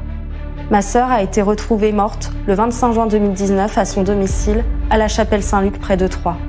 Elle a été rouée de coups. Nous pensons qu'elle est décédée dans la nuit du 22 au 23 juin 2019. Nous sommes convaincus qu'elle a été assassinée et que son assassin court toujours. Nous avons donc besoin de votre aide. Si vous avez le moindre élément, le moindre petit détail que vous pensez anodin et qui nous permette de relancer l'affaire, s'il vous plaît, appelez M6, appelez l'émission Appel à témoins. Merci. Alors, vous vous rendez compte que dans un premier temps, on a dit elle s'est fait ça toute seule. Après, on a commencé à trouver de l'ADN sous les ongles. En fait, il y a plein de choses très très bizarres. Euh, une soirée un peu particulière. D'ailleurs, un petit extrait parce qu'on a remonté l'enquête de ce qui s'est passé. Regardez. Mais qui aurait bien pu en vouloir à cette mère de famille rayonnante? Après la découverte du corps de Julie par sa fille, les enquêteurs vont retracer ses dernières heures. Quatre jours plus tôt, le vendredi 21 juin, à l'occasion de la fête de la musique, Julie avait décidé d'aller passer la soirée chez un ami d'enfance, à quelques kilomètres de chez elle. Voilà, donc il y a eu cette soirée très bizarre où elle va chez des amis, euh, elle ne rentre pas chez elle, euh, quelqu'un vient la chercher. Enfin, vous allez voir, il y a vraiment des zones d'ombre. Donc, lundi, dispositif exceptionnel, comme nous le faisons régulièrement sur M6 en direct. Vous allez pouvoir téléphoner anonymement et Blanche Grandvilliers, avocate, vous le dira. On peut téléphoner anonymement, il ne vous arrivera rien. On a toujours l'impression, oh, si je commence à parler parce que je sais quelque chose, qu'est-ce qui va m'arriver? Vous pouvez simplement donner l'info et après les gendarmes et les policiers ben, vont aller enquêter. Au contraire, on doit collaborer à une enquête. C'est important, c'est notre devoir de citoyen si on a des éléments indiqués, Julien. Alors, euh, il y a un deuxième, vous avez vu appel à témoin qui est, qui est passé, euh, voilà, et dont on va parler lundi aussi, parce que là, c'est encore C'est un monsieur qui est en vélo, un père de famille, un grand-père qui est adorable en plus. Il va faire son tour de vélo comme tous les soirs. Il est renversé par un camion et le camion se sauve. Il y a des témoins partout qui n'ont pas eu le temps de prendre la plaque d'immatriculation de ce camion. Mais ils ont vu la scène, ils ont vu l'homme se faire renverser et le camion partir. Il y a même une dame qui s'est précipitée un petit peu sur le camion. Elle a vu trois personnes à l'intérieur. Donc ça veut dire qu'il y en a deux qui savent que le conducteur a renversé le cycliste puisqu'ils étaient trois alignés en premier. Cette famille, elle a besoin de comprendre, elle a besoin de savoir ce qui s'est passé. Donc, soyez sympa, aidez-nous, appelez anonymement. Lundi soir, il y a un numéro de téléphone, là je ne l'ai pas sous les yeux, mais vous pouvez d'ores et déjà le faire. Stan, vous serez d'ailleurs, euh, je tiens à le dire pour ceux qui regardent Appel à témoins, d'habitude vous voyez Charlotte aux réseaux sociaux. Elle a beaucoup changé, Charlotte, lundi prochain, puisque c'est Stan que vous verrez. En effet, vous pourrez appeler euh, ce soir-là le 0810 11 21. Et d'ores et déjà, c'est très important, si vous avez la moindre information sur les histoires qu'on vient de vous raconter, vous pouvez nous envoyer un mail à appel à témoin avec un S à témoin, m6.fr. Ça peut d'ores et déjà nous permettre d'avancer dans les enquêtes et d'avancer plus rapidement le 4 euh, mars quand nous traiterons ces histoires à l'antenne. On pourrait faire un appel à témoin avec Émeric. Hein. Il aimerait bien savoir qu'il lui a piqué son chèque. non mais, moi, moi, votre histoire, elle est dingue. Parce que vous savez, euh, ça fait quand même 25 ans qu'on fait l'émission quasiment. Et euh, on a toujours des cas originaux, mais c'est difficile aussi d'en avoir des très originaux. C'est la première fois, je crois, Céline, que nous avons un chèque qui n'a même pas été falsifié. C'est-à-dire que maintenant, l'escroc n'a même plus besoin de raturer grossièrement. Il prend le chèque, il met son numéro de compte derrière, il se fait encaisser. Mais si on commence à encaisser les chèques comme ça, mais ça va être une boucherie, là, à chaque fois qu'un chèque va être envoyé à la banque. Hein. Tout à fait. La vérification, quoi. Des banques ne vérifient plus. Euh, non, mais quel n'est pas le temps de vérifier que ça soit peu importe, mais ça doit pas. Euh, une fois que ça arrive, on doit vous dire on vous rembourse. Voilà, c'est tout. Et là, on ne le rembourse pas et on va s'en occuper. RTL. Attention, mesdames et messieurs, grand moment. C'est le premier jeu de Blanche de Grandvilliers qui va faire un petit vrai ou faux et c'est vous qui allez jouer. Donc, elle va vous poser une question, vous dites vrai ou faux. C'est pas trop compliqué. Et puis, on va bien voir. Jusque-là, ça devrait aller. Vous le dites au hasard, vous avez une chance sur deux. Mais ça permet à tous ceux qui suivent l'émission d'apprendre des tas de choses sur leurs droits. Alors, attention, le premier vrai ou faux, il est pour Aurélie. On y va, Blanche. Alors, Aurélie, je ne vais pas vous poser la première question parce que c'est trop facile. Vous avez des éléments. Ce, jeu ne peut jamais, ce jeu ne peut jamais se passer dans de bonnes conditions. D'ailleurs, il y a quelqu'un qui m'a écrit hier en me disant Je vous ai écouté, j'ai été très déçu, le jeu s'est bien passé. Ah, là, Parce que vous connaissez beaucoup de jeux en France où à la première question, l'animateur dit ah, ben, Je ne vais pas vous poser la première parce qu'en fait, euh, ah, ça m'arrange pas. Vous allez comprendre pourquoi. Alors, allez-y. Alors, je vous pose la deuxième. Si je suis mécontente de mon déménagement, mécontente en l'occurrence, Hey, J'ai 10 jours pour faire une réclamation, vrai ou faux? Alors, vrai ou faux, on a 10 jours pour faire une réclamation en cas de déménagement s'il y a de la casse. Bon, vrai? Elle dit vrai. Et là- Ah bah bonne réponse. Bravo Alors expliquez-nous. Oui, effectivement, euh, attention, il faut agir rapidement. Vous avez 10 jours, vous devez faire un courrier recommandé en indiquant tout ce qui ne va pas, tout ce qui manque, tout ce qui a été abîmé, etc. Sinon, vous êtes fort clos et après, vous devez agir dans un délai d'un an contre le transporteur. Donc, des délais très courts pour le consommateur. Aurélie, malheureuse en voiture, euh, heureuse en déménagement. Apparemment. Dites juste Valérie, euh, Aurélie, euh, ce monsieur dit, euh, cette dame, elle, elle est pas célibataire. Vous nous avez fait croire que vous étiez célibataire pour nous appâter. Non, je, mais je suis célibataire. Bah, le garagiste, il a elle est venue avec un homme. On aimerait bien savoir ce qui se passe.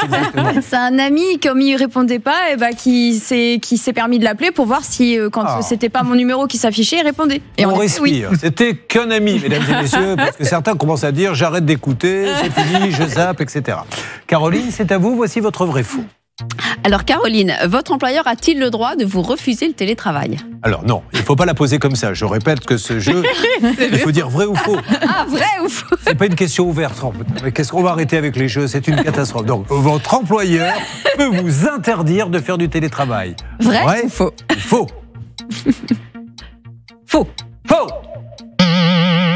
Alors C'est vrai, effectivement. Il peut vous interdire le télétravail, mais il doit le motiver. Il doit dire pourquoi, en l'occurrence, il vous refuse ce télétravail, même s'il y a du télétravail dans l'entreprise. Je rappelle que beaucoup se disent ils le font exprès de massacrer les règles, etc. Non, c'est c'est comme ça. Il y a un esprit, il y a l'œil sur cette émission quand on fait des petits jeux comme ça. Mais on apprend des choses malgré tout. Euh, attention, c'est à vous, Émeric. Voici votre vrai ou faux. Donc pas une question ouverte. Ne lui Non, non, non, non. Compris. La garantie de conformité s'applique aux biens d'occasion, vrai ou faux Avant de répondre, qu'est-ce que la garantie de conformité? Ben, C'est une garantie qui fusionne euh, la garantie des vices cachés, la garantie d'obligation de délivrance, qui fait que ben, quand vous avez un souci, eh bien, votre vendeur euh, doit vous indemniser ou reprendre le bien, vous rembourser. Alors, reposez la question.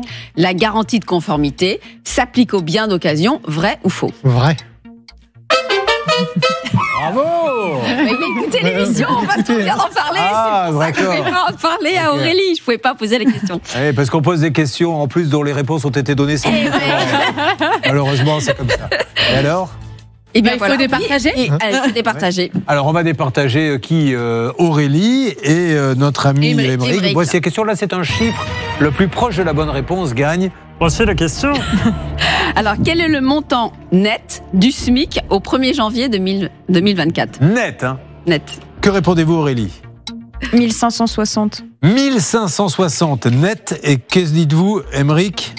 1468. 1468. Et la bonne réponse était? La bonne réponse, c'est 1398,69, c'est-à-dire 1400. Donc, mais bien, c'est Emery qui a gagné, c'est lui qui. Une petite montre RTL Bravo Super Eh ben voilà, on a appris des tas de choses, mais on n'a toujours pas réussi à faire un jeu euh, fluide, avec des règles bien précises, euh, comme le fait Jean-Luc Reichmann, comme le font Jarry. On essaie d'aller dans la cour des grands, mais on n'y arrive pas. On va progresser, Julia. On progresse, mais c'est long. La progression est très très longue. De notre côté, il y a beaucoup de marge. hein. Bon, alors, euh, en ce qui concerne Aurélie, s'il vous plaît, Hervé Pouchol, négociateur.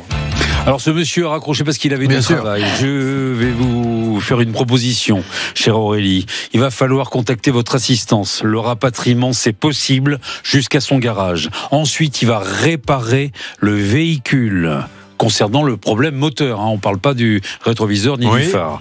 Une fois qu'il l'a réparé, il va faire deux propositions à Aurélie. Soit elle récupère son véhicule en état de, de marche, soit il la rembourse. Voilà, bon, je pense qu'elle a déjà choisi. Euh, maintenant, ce que je voudrais, c'est qu'on aille au bout de ce dossier. Hervé, auriez-vous l'amabilité d'appeler? Quelle est votre assurance? L'Olivier.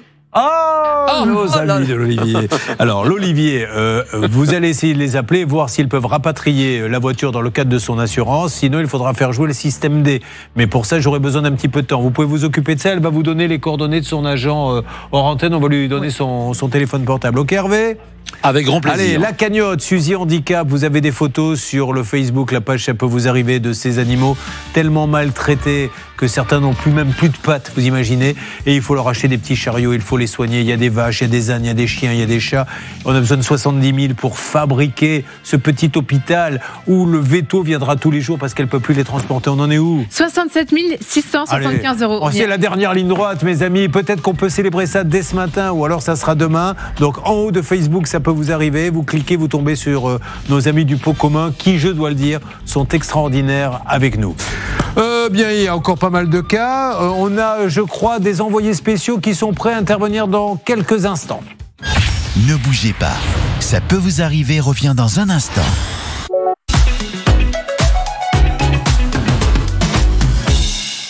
Émission très riche avec en dernière ligne droite tout à l'heure le journal des arnaques et en fin d'émission encore une salve de questions. Vous en posez énormément, vous avez besoin de connaître vos droits et nous allons répondre avec plein de spécialistes qui seront là. Là nous allons prendre des nouvelles d'Alexandre qui est avec nous. Alexandre, bonjour. Bonjour Julien. Alexandre, rappelez-moi, vous nous appelez d'où? De Bourmois, dans l'heure, à côté de Rouen. Voyons si nous allons chanter la fameuse chanson de la véranda, car ma chère Cécile, c'est encore une histoire de véranda.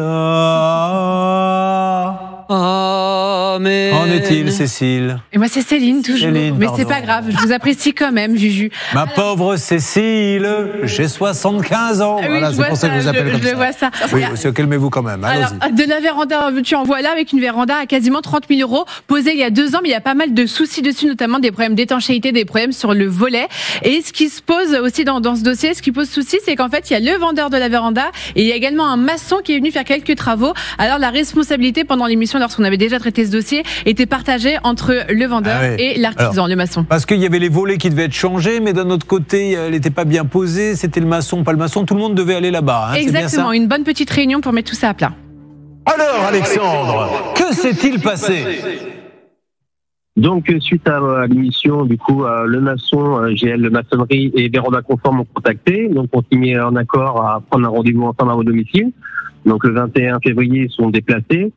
Du coup, on a constaté la maçonnerie, euh, qu'en fait, il n'y avait aucun souci. De ce côté-là, ça va. Après, côté Véranda, bon, il y a beaucoup de problèmes encore à résoudre. Donc, euh, Véranda Confort, pour l'instant, j'attends euh, bah, des solutions parce que pour l'instant, c'est encore à la recherche des solutions à proposer. Quoi. Euh, C'est bien dommage, mais à un moment donné, s'il n'y a pas de solution, et je suppose que c'est ce qui ne leur plaît pas, c'est qu'il va falloir euh, malheureusement rembourser. Il a acheté une véranda chez Véranda Confort pour qu'elle soit parfaite. Si elle ne l'est pas, parce qu'ils n'ont pas les solutions, parce que, et je peux les comprendre, le terrain n'était pas adapté, mais c'est à eux de le faire avant de vendre la véranda, de vérifier si on va pouvoir la monter parfaitement. Oui, on rappelle en plus que cette véranda, il l'a payé quand même 33 000 euros, euh, Julien. Donc, euh, et le, celui qui est responsable, c'est le vendeur, c'est-à-dire celui à qui il a donné l'argent, qui devra se débrouiller avec son partenaire. Bon, écoutez Alexandre, en tout cas c'est plutôt en bonne voie. La, la ligne est mauvaise. Vous avez remarqué le nombre de gens qui nous appellent avec une ligne euh, Franchement, on va demander à William Scheller pourquoi. hein. Non, parce que je me la pose moi la question et tout le monde a le droit de se la poser. Pourquoi les gens qui nous appellent ont tous des lignes de merde? On comprend rien du tout. Alors évidemment, ça ne les aide pas beaucoup. Euh, Qu'est-ce qu'on peut dire, Alexandre, qu'on attend un petit peu, voir si euh, nos amis de la véranda ont trouvé la solution? Oui, bah, j'espère qu'ils vont trouver. Là, je suis en attente euh, du gérant qui doit me contacter quand il aura un retour. Mais Le- pour le l'instant, gérant est en j'attends vacances? encore. Bon, Je bah, tant mieux. pas. Bah, Donc, et- il m'a dit qu'il aura des nouvelles, qu'il allait contacter, mais pour l'instant, je suis en attente. S'il n'y a pas de nouvelles de Véranda Confort à- du côté de. Ça se trouve à Tot, bah vous me rappelez d'ici une petite dizaine, mais tant mieux, il va revenir en vacances super reposé, les idées claires. Donc il va peut-être trouver Oui, la solution. Et on pourra chanter Oui, la fameuse chanson de la Véranda. Vous la connaissez? Non. Oh là, c'est pas des fans de l'émission, c'est Ah pas non. possible. À chaque fois qu'il y a un problème de Véranda qui évolue, et je vous conseille, vous allez fêter des anniversaires euh, des uns et des autres, de mettre la chorégraphie de la Véranda. Elle marche pas de la Véranda, ils n'ont pas réussi à poser la Véranda. Quand je les appelle, ils viennent pas pour la Véranda. Hey, la Véranda Vous saviez pas ça Eh ben voilà. Ils sont concernés, je vous le dis si vous êtes en train de conduire, et me regardent comme si j'étais l'idiot du village. Ils ne sont pas loin de la vérité. Euh, avançons maintenant, si vous le voulez bien, avant d'attaquer euh, les cas euh, d'Emeric et de Caroline, qui est en ligne avec nous? On va faire Caroline tout de suite? Ah bah oui, je vous propose de faire Caroline tout de suite. De toute façon, elle nous l'a dit, elle en a marre Vous d'attendre. avez Donc on a- on tapé a dans de l'œil de notre chef d'édition, Caroline, qui est elle aussi célibataire. Oui. Ah, ça en fait deux. Mais déjà, peut-être que toutes les deux, vous pourriez essayer ensemble. Non. D'accord. Visiblement, Aurélie ne fait pas partie de cette équipe. Caroline est géant du. Géant, on m'a oublié le, le R. Oui, On m'a marqué, elle est géante d'une société de location de biens immobiliers. Elle est gérante. Alors, qu'est-ce que vous faites exactement, Caroline? Marchand de biens, location de biens immobiliers. Dans quelle région? Département de l'Eure en Normandie. Ah, pas très loin de chez moi. Vous êtes basé où? À Menneval, exactement. Et c'est loin de Gaillon, Cailly-sur-Eure, tout ça? Oh, une petite heure de route. D'accord. Bah, on va faire une petite publicité gratuite. Elle s'appelle comment votre euh, boîte? Je suis indépendante, donc. euh, Mais euh, comment pour vous joindre On va sur quoi? Non, non, c'est du perso, c'est du perso. ouais. C'est très mystérieux. à mon avis. euh, C'est pas comme euh, non, c'est pas comme une agence immobilière. Oui, mais si, si demain je veux passer par vous pour faire une transaction, C'est que moi. C'est que vous. Vous faites des transactions que pour vous. Voilà. Et- Vous vous achetez les biens et vous vous les revendez derrière. D'accord, j'ai compris, mais il aura fallu du temps. Bon, alors qu'est-ce qui se passe à Menneval, euh, s'il vous plaît? Madame, euh, oula, il y a du crime dans l'air, Laura. Une femme a appelé la gendarmerie il y a quelques jours pour dénoncer le vol de son portefeuille. Un homme y aurait arraché l'objet. Retrouvé, lui, il se défend de tout vol. Par contre, les forces de l'ordre ont trouvé dans sa voiture des cartons de tabac, une bombe lacrymogène. La jeune femme a été convoquée. Elle a dit que, ok, oui, j'ai menti et donc pris la main dans le sac tous les deux. Ils ont été placés en garde à vue. Ils seront convoqués au tribunal très Ah prochainement. bah, très bien. Vous êtes depuis longtemps dans l'heure? Oui, depuis toujours. Vous, êtes, vous avez vécu toujours là-bas? C'est sympa l'heure, hein, j'adore. Quand je me suis installé là-bas il y a, quelques temps, euh, j'avais récupéré un, un petit corps de ferme, voilà. Et premier jour, on arrive, euh, ma femme est dans le jardin, et moi j'étais en train de regarder un, un match de foot à la télé. Là, c'était le début, le, le- le premier jour, on venait juste d'arriver. Et là, le voisin, est un agriculteur, s'approche de la barrière et dit à ma femme Vous êtes les nouveaux? Oui, oui, monsieur. Je veux pas d'histoire, moi, avec les voisins. Parce que s'il y a des histoires, vous savez ce que je fais? La femme lui dit non, je ne sais pas, monsieur. J'appelle Julien Courbet. Elle lui dit écoutez, on va régler le problème tout de suite. Julien Donc je suis venu et j'ai cru qu'il allait faire un arrêt cardiaque. C'est-à-dire que- il, ben, c'est incroyable, on est devenus copains après. Bon, alors, une toiture qui fuit, c'est de ça dont il est question. Le, je voudrais le préjudice, s'il vous plaît, Céline. 57 000 euros, tout simplement, et donc des travaux qui ne peuvent pas aboutir tant que la toiture n'est pas réparée. Et euh, là, ça coule chez vous? Ah oui, oui, oui. Mais vraiment au point Mais de. vraiment, et ça vraiment. pourrit de tous les côtés?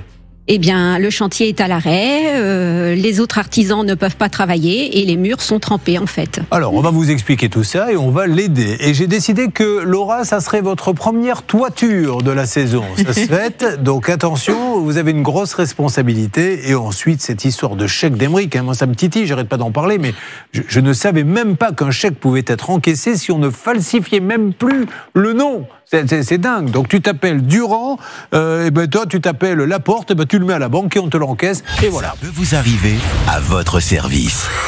Caroline, je vous emmène dans un endroit romantique. Oh. Un endroit pour les amoureux, un endroit où peut-être vous trouverez l'âme sœur. C'est chez vous. Regardez. voilà, c'est elle, la pauvre. Voilà. Alors expliquez-nous un petit peu, qu'est-ce qu'on voit là? Eh bien là, le mur qui est trempé. Donc le mur est complètement Voilà. coupé. Il y a un tuyau. Le tuyau, c'est normal, lui, là Oui, oui, oui, c'est les gouttières qui n'ont pas été posées. Ok, une deuxième photo, s'il vous plaît, de cette petite maison. Voilà, donc à gauche, le mur, la fuite. Alors, ce qu'on voit, la fuite, c'est-à-dire, c'est cette tache-là, tout ça Tout à fait. Ça, c'est pas normal. Eh non, c'est alors, normal. du coup, tant qu'il y a ça, ça ne peut pas avancer. Parce On que les disent, ça ne sert à rien de faire de la peinture là-dessus. De l'isolation De déjà. l'isolation. On va pas faire de l'isolation euh, dessus. Une troisième photo maintenant. La voici, donc Voilà, là, toujours pareil. pareil, là-bas. Donc c'est vraiment la toiture qui prend l'eau de tous les côtés. Oui. D'accord. On a autre chose, Stan Vous voulez dire rajouter quelque chose?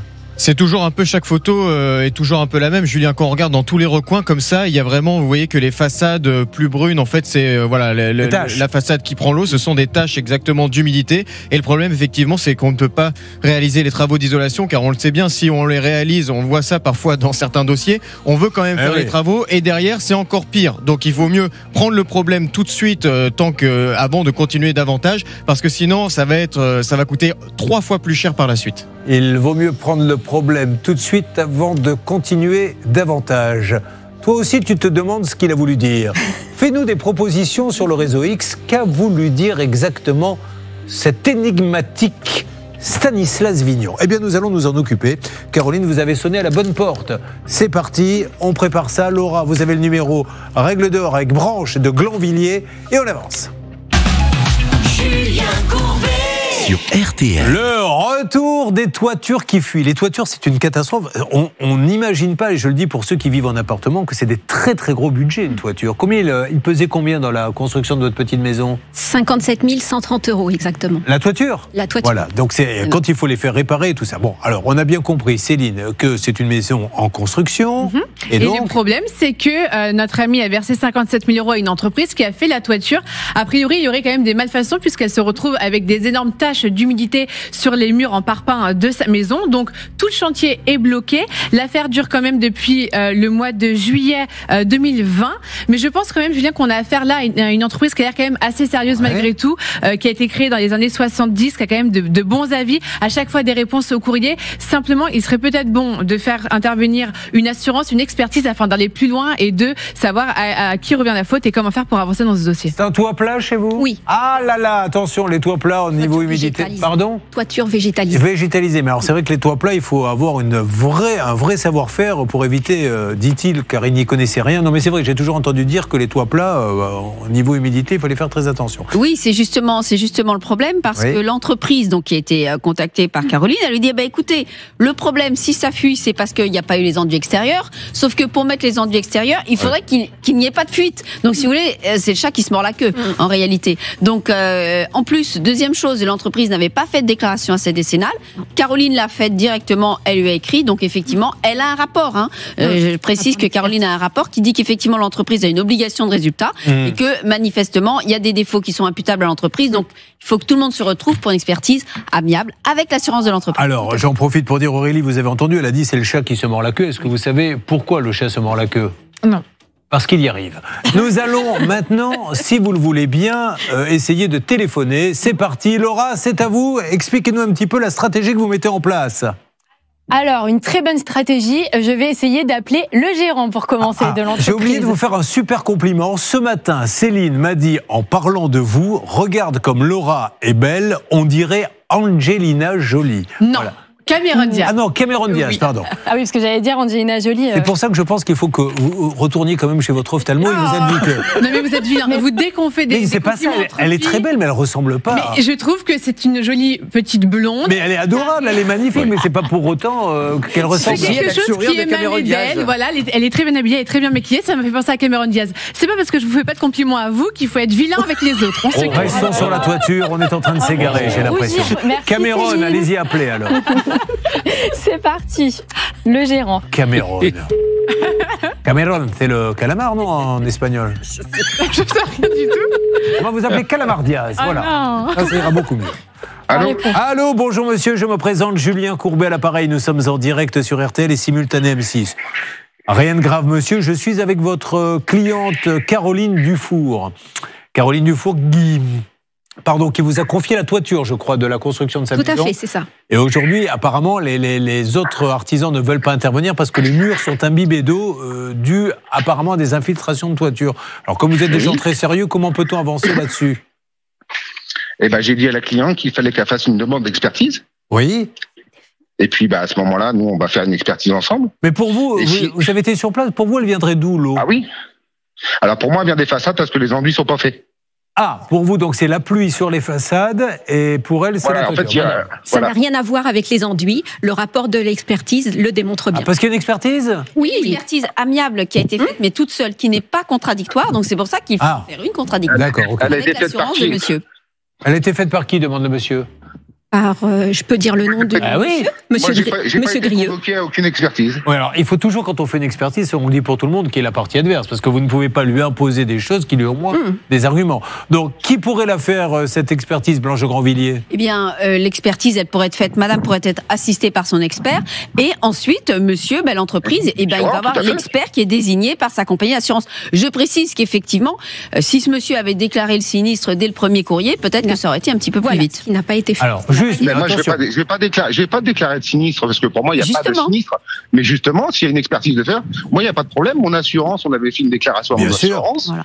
Madame Dufour peut le faire aussi. Il n'y a pas de souci. Hein. Bon, Et alors, on fait, on fait une expertise. Les travaux qui devront être faits, si je suis en tort, je reprends tout. seront sans faits immédiatement. Il n'y a pas de souci. Juste, on a, alors, ça n'a pas valeur d'expertise, mais Sylvain Baron, ingénieur en bâtiment, vous êtes là?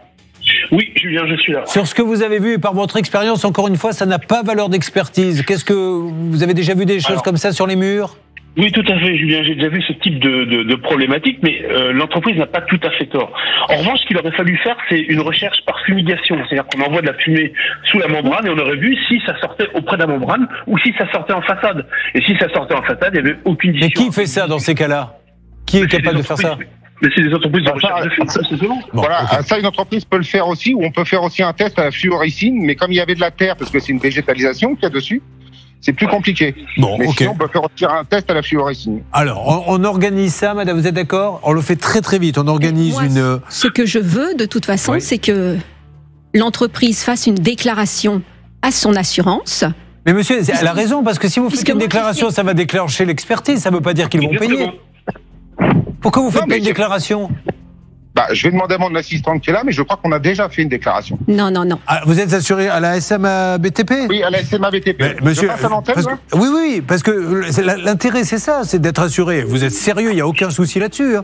Vous, vous dites à votre assurance, voilà, j'ai une cliente qui se pointe, qui se plaint, ils envoient un expert, elle envoie le sien de son assurance, et comme ça, on gagne du temps. mais il n'y a aucun problème, monsieur Corbet. Il n'y a aucun Bah, problème. oui, mais c'est ce qu'elle réclame, c'est tout. hein. Puisque moi, Bah, j'ai déjà c'est la- écrit à son assurance, Ouais. il le sait très bien, il a eu le double du courrier.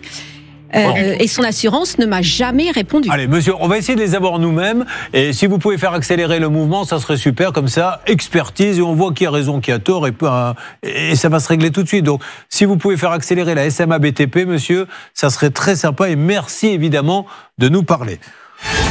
Ça peut vous arriver. Euh, vous, vous pouvez vérifier avec votre assistante, monsieur, ce qu'elle a fait avec la SMA BTP Vous avez deux secondes? Avec plaisir. Merci, monsieur. Merci beaucoup. Euh, vous, de votre côté, il faut que son assurance, elle aussi, vienne. Alors, elle, c'est une protection juridique, elle n'a pas forcément euh, d'assurance, elle n'a pas de dommage ouvrage. C'est vrai que si vous, si vous en aviez une, je, je, le rappelle, quand on fait des travaux, on peut prendre une dommage ouvrage. C'est obligatoire, mais ce n'est pas sanctionné mmh. quand on ne revend pas mmh, euh, l'immeuble dans le délai de, de 10 ans. Mais par contre, ce qui est sûr, c'est que la SMA BTP a confirmé le 27 novembre qu'elle avait eu aucune déclaration de la part de son assuré. Allez, on laisse ce monsieur faire les recherches tranquillement. J'en profite pour vous redire parce que c'est très important. Il y a des familles qui ont besoin de vous. Hein. Euh, n'oubliez pas qu'un simple appel vous changez la vie de ces gens-là qui ne peuvent plus vivre tant qu'ils ne sauront pas ce qui s'est passé. Encore un appel à témoins. C'est lundi prochain, 21h en direct. Bonjour, je m'appelle Pascal. Je suis la maman d'Adrien Sourine, âgé de 16 ans, le jour de sa mort. Le 24 janvier 2014, il me demande l'autorisation d'aller à une fête à Corneille-à-la-Rivière. Lorsque je constate qu'il n'est pas rentré, je donne l'alerte. Et deux jours plus tard, nous trouvons son corps au fond d'un cours d'eau. Pour la gendarmerie, il s'agissait d'une mort accidentelle par noyade. Moi, je n'y crois pas du tout. Je suis persuadée que quelqu'un fait du mal à Adrien. Alors aujourd'hui, s'il vous plaît, en sa mémoire et pour nous permettre de faire notre deuil, dites-nous, expliquez-nous ce qui s'est passé lors de cette soirée. Appelez M6, appel à témoins. Merci. Alors, il y a plein de choses très troublantes. La position du corps qui est quasiment parfaitement posée. Si c'est une chute, ça ne peut pas être le cas. Le téléphone portable qui se trouve pas au bon endroit, qui n'a pas forcément été vérifié. Et puis, vous allez voir un petit extrait du reportage, quand même des choses très très bizarres. Regardez. Pascal est d'autant plus préoccupé qu'un événement inquiétant se produit le lendemain de la fête. Le sac à dos du jeune homme réapparaît mystérieusement dans le jardin de son père, à 25 km de là. Le fait de trouver ce sac a conforté l'idée qu'il s'était passé quelque chose. Si Adrien n'a pas récupéré son sac, c'est que forcément, il n'en a pas eu la possibilité.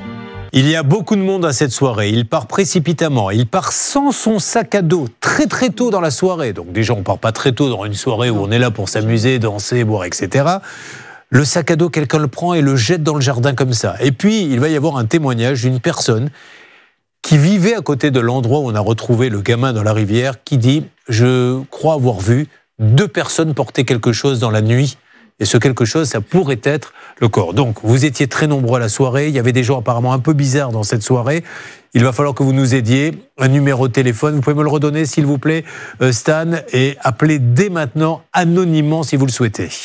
C'est le 0800 10 11 21. Il n'est pas encore actif. Il sera actif le soir de l'émission, le 4 mars. En revanche, vous pouvez d'ores et déjà envoyer un mail à appel à témoins avec un S à témoins m6.fr si vous avez la moindre information. Ça peut d'ores et déjà nous permettre de faire avancer ces enquêtes. Et on vous donnera des nouvelles des anciens dossiers qui, eux, ont avancé grâce à vous, grâce à vos témoignages. Euh, où en est-on maintenant? Donc, c'est lundi soir. On compte sur vous 21h en direct. Euh, où en est-on? Est-ce que ce monsieur, euh, très sympathique, a pu aller vérifier auprès de son assurance Laura alors, mais il est toujours en train de rechercher le dossier et donc je pourrais revenir vers vous dans, quelques minutes. Super. Pour l'instant, j'ai pas d'autres infos. Allez, on avance également. Est-ce que pour Aurélie Hervé Pouchol, vous avez pu avoir l'assurance l'Olivier pour savoir s'ils auraient, dans le cadre de l'assurance de cette dame, la gentillesse de déplacer la voiture à 15 km alors on est en train de récupérer toutes les coordonnées. On vient d'avoir un lien avec la direction générale de l'Olivier, donc on est, on avance. Bon, parfait. Et puis alors dans quelques instants, deux cas. Alors celui d'Emeric, je vais arrêter de vous en parler parce que vous allez vous dire il y aura d'autres, mais je trouve tellement hallucinant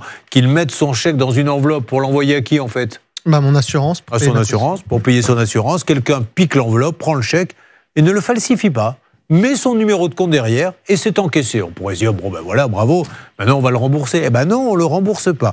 Et puis cette histoire de cuve, c'est un truc de dingue.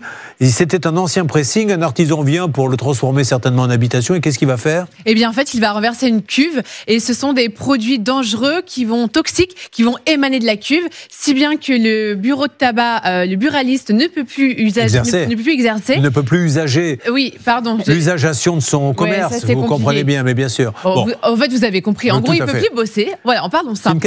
Catastrophe. Il ne, peut plus travailler, c'est une catastrophe. Il y a 50 000 euros de travaux à envisager dans son commerce et également, la personne qui est propriétaire de l'appartement du dessus ne peut plus habiter. Allez, on s'en occupe dans le journal des arnaques dans la dernière ligne droite, mesdames et messieurs. C'est ça peut vous arriver. Julien Sur RTL.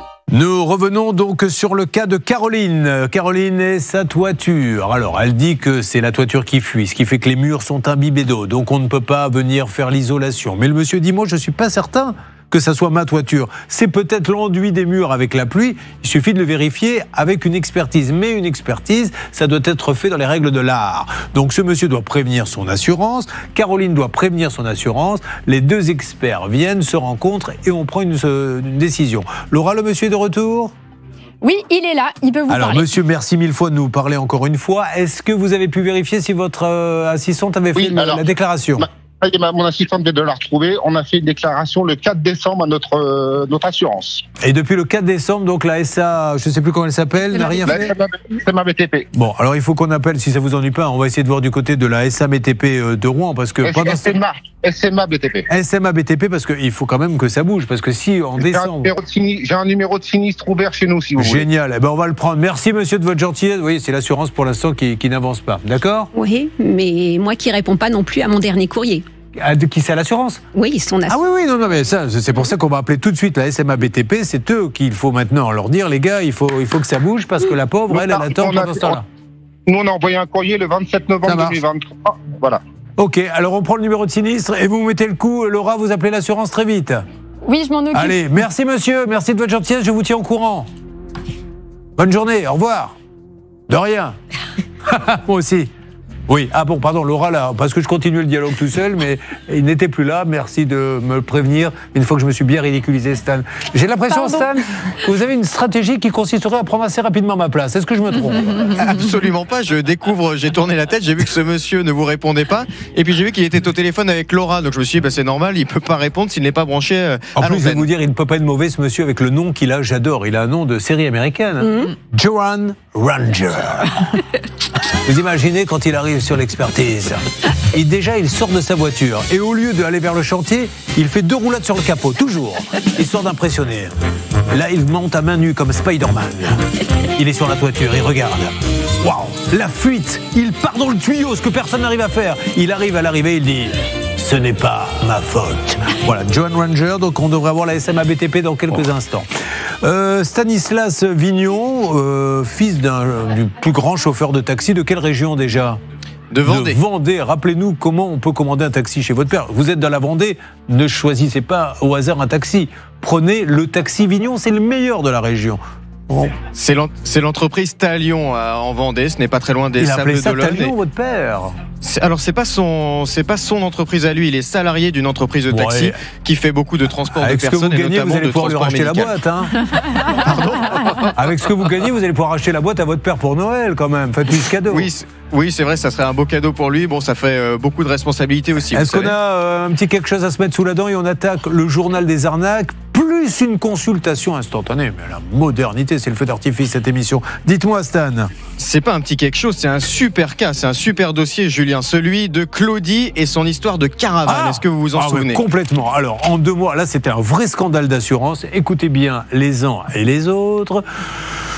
Claudie décide d'acheter une assurance, elle la paie en liquide, mais on a le droit d'acheter à l'époque une euh, caravane en liquide pour la, la somme de 2500 euros? Donc elle l'achète, 2500 euros en liquide, et puis elle paie les cotisations pendant 7-8 ans. On est D'accord Céline? On est d'accord, tout va très bien. Un jour, il y a la grêle. La grêle va casser la caravane, donc elle va appeler l'assurance. Sauf que l'assurance lui dit mais on ne va pas vous rembourser, merci pour toutes les cotisations passées, on ne vous rembourse pas parce que vous n'êtes pas capable de justifier euh, Le paiement. les fonds. Comment est-ce que vous avez acheté la caravane en espèces? Et à l'époque vous n'avez pas de reçu Ben non, c'était en espèces, alors on ne rembourse pas. Alors, ça les a pas gênés qu'elle s'inscrive et qu'elle paie des cotisations pendant 8 ans, mais au moment de rembourser, on lui dit, mais non, comme vous avez payé en liquide, ce qui est légal, hein, je le redis, le, le montant a changé depuis, mais c'est légal. C'est légal. Eh bien, on la rembourse pas. Alors, on appelle, et ça, Hervé Pouchol fait un boulot remarquable, il obtient un papier de l'assurance qui dit on va rembourser, n'est-ce pas Hervé? Absolument. Et le problème, c'est que sa fille m'envoie un petit message sur les réseaux sociaux en disant Merci, vous êtes occupé de mes parents, mais vous dites qu'ils ont été remboursés, mais ils n'ont toujours pas touché un fifrelin. Donc on rappelle une deuxième fois. Qui est en ligne avec nous alors? Eh bien- Qui est en ligne avec nous, s'il vous plaît, Stan? C'est Claudie. Claudie, vous m'entendez? Oui. Oui, bonjour Julien, je vous entends. Alors, est-ce que la deuxième intervention a marché, Claudie? Ah, ah oui, impeccable. Bon, ça y est, vous avez le chèque. Bon, Claudie, alors. Enfin, au bout de 20 mois, ça a été long, mais c'est fait. Bon, génial. Bon, ben, merci Hervé. Vous pouvez remercier nos interlocuteurs chez MMA. Parce que la première intervention, je Non, vous avais dit dans quelques jours. Ah, c'est Groupama, pardon. Oui, excusez-moi. Je vous avais dit dans quelques jours, et le temps que le virement se mette en place, c'est bon, il a fallu 24 heures de plus, 48 heures de plus. Ah On non, va non, non, c'était pas 48 heures de plus, hein, c'était. Ouais, Moi, quand je les ai re- Ah oui, relancés- pardon, parce que la première fois, elle avait attendu pas mal de temps. Bah, vous pouvez dire merci à votre fille hein, qui m'a euh, contacté euh, sur les réseaux pour me dire euh, papa et maman, ils n'ont pas été payés. Bon, ben Oui, super, Claudie. Été, oui.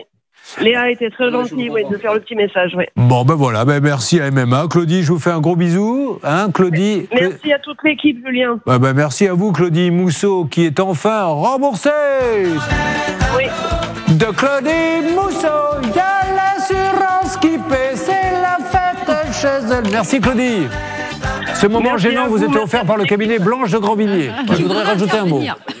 Allez-y. Oui, juste, quand on achète un particulier, effectivement, le particulier vous dit, je peux pas donner de facture. Dans ces cas-là, ce qu'on demande, c'est une attestation de vente. Au moins un document qui confirme qu'il vous a bien vendu quelque chose et à ce prix-là, et ça aurait évité à Claudie de se retrouver dans ces difficultés. C'est vrai que cette voix nasale, que Ah, dans quelques instants, qu'elle va s'occuper de votre cas Blanche de Grandvilliers. Et vous concernant, qu'est-ce qu'elle va le faire? Elle va mener? L'enquête. L'enquête.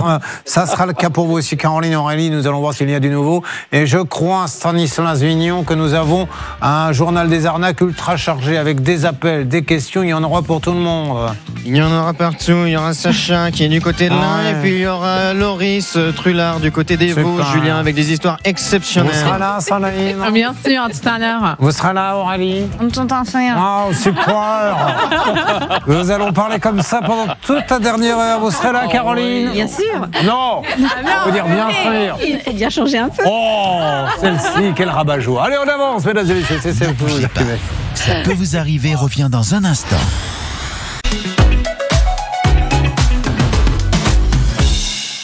Alors là, j'en prends le pari, l'un des plus beaux journaux des arnaques euh, depuis qu'on l'a démarré. Avec en plus en fin d'émission, consultation instantanée, vous avez beaucoup de questions à poser, vous aimez ça, nous vous rendons ce service. Allez, on démarre tout de suite.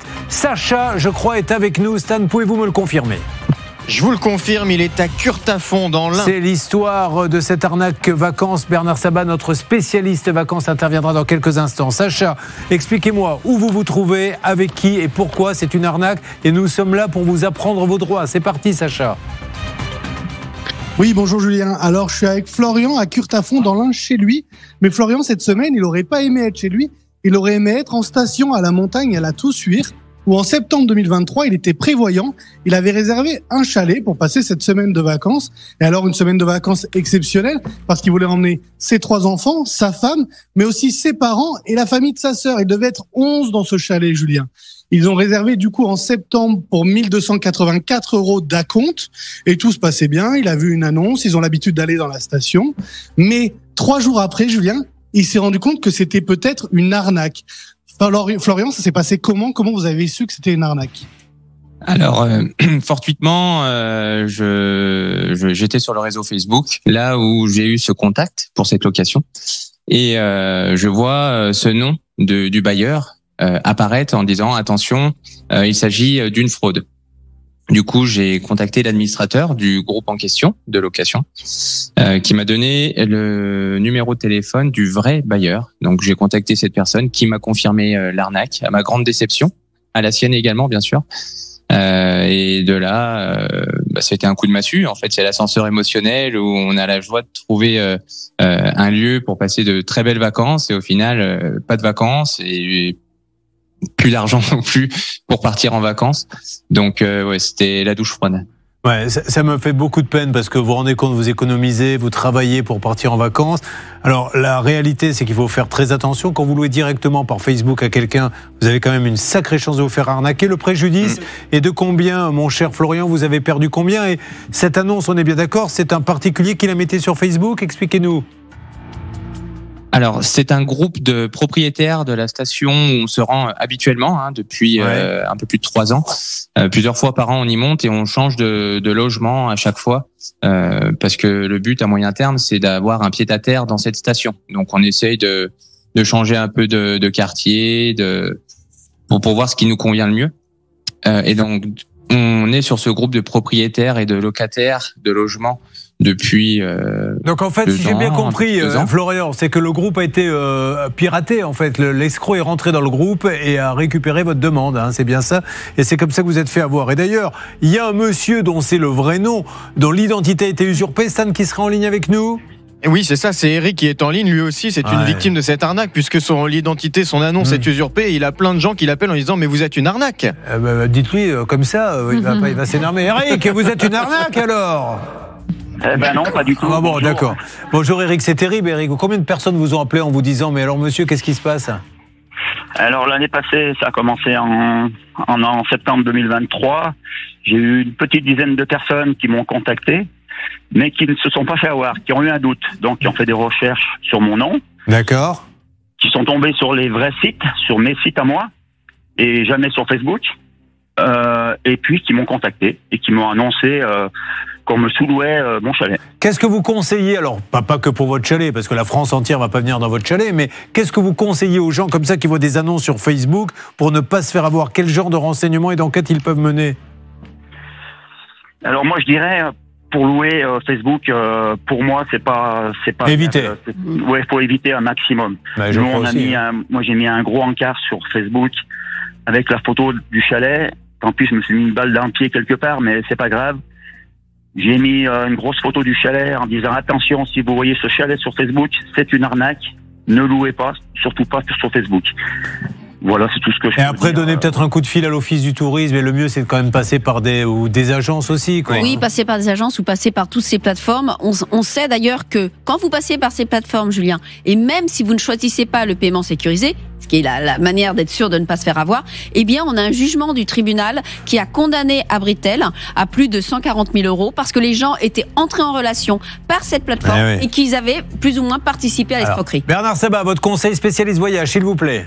Vous savez, les, EDV, les entreprises du voyage aujourd'hui euh, garantissent justement ces réservations. Alors c'est vrai que Eric euh, fait cette démarche de pouvoir louer ça directement avec un groupement. Le problème c'est qu'il n'y a pas toutes les garanties là-dessus. Quand vous passez par un professionnel, l'argent que vous déposez en agence de voyage est garanti. Si demain il y a une usurpation ou euh, une tricherie, rappelez-vous, Julien, on l'avait vécu il y a une vingtaine d'années, pendant les congés scolaires entre Noël et Jour de l'An, ce chalet qui avait été loué directement par le biais d'une annonce et 20 familles s'étaient présentées. La gendarmerie, gendarmerie pardon, était venue faire le ménage. C'était pas évident de, de- de gérer ça. Passer par des acteurs du tourisme, ils vous garantissent l'argent Bon, déposé. alors, on a un numéro de téléphone. On n'arrivera pas à avoir le remboursement. Je suppose que le monsieur, c'est un, ce qu'on appelle un brouteur, qui est certainement en Côte d'Ivoire. Euh, Ils sont tous euh, souvent basés là-bas. Mais appelons quand même pour voir. C'est parti, faisons le numéro, voir si ça répond. C'est lancé. J'ai peu d'espoir, mais bon. Au moins que vous voyez à quel point jusqu'où ça va. Donc euh, ne croyez plus à une annonce Facebook. Voilà. Menez une enquête, ça ne veut pas dire qu'il faut éviter, mais vous ne pouvez plus dire sous prétexte que vous avez une annonce Facebook, c'est bon, je loue, je vous envoie de l'argent. Il faut mener une enquête, appeler l'office du tourisme, est-ce que c'est à vendre, euh, appeler le voisin, etc. Bonjour. Le numéro que vous essayez de joindre n'est pas disponible Ben, vous voyez, pour le moment. il était Veuillez disponible hier, il l'est plus aujourd'hui. Cela dit, on peut peut-être laisser un message pour louer un chalet. Oui, d'accord. On y va. Alors, non, bah, allez-y. euh, vous laissez un message en disant rappelez-moi, comme ça vous le branchez quand vous l'avez pendant l'émission. Sans problème. Bon, euh, Sacha, merci beaucoup. Dites à Florian, euh, vraiment du fond du cœur, que- qu'on le remercie de nous avoir alertés euh, là-dessus. On essaie d'avoir euh, la personne en question et si nous l'avons, je le bascule sur l'antenne. D'accord, Sacha? D'accord, Julien. Vous voulez rajouter quelque chose, Sacha? Oui, alors je voulais rajouter quelque chose parce que on dit qu'il faut pas faire euh, suivre sur Facebook, mais même là, il a été sur Facebook, mais il a quand même eu des garanties à la base. Ce qu'il m'a montré, il a même un vrai bail.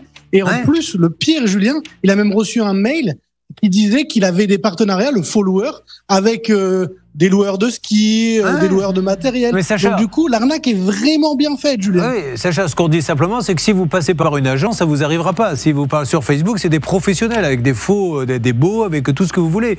Mais euh, louer directement comme ça, il faut faire très très attention. Bon, Sacha, on avance et je vous tiens au courant. Attention, on vous donnera des nouvelles de banque. C'est juste incroyable quand on va passer au cas. Je sais pas si on passe maintenant. Qu'est- Qu'est-ce que vous voulez faire, mon petit Stan?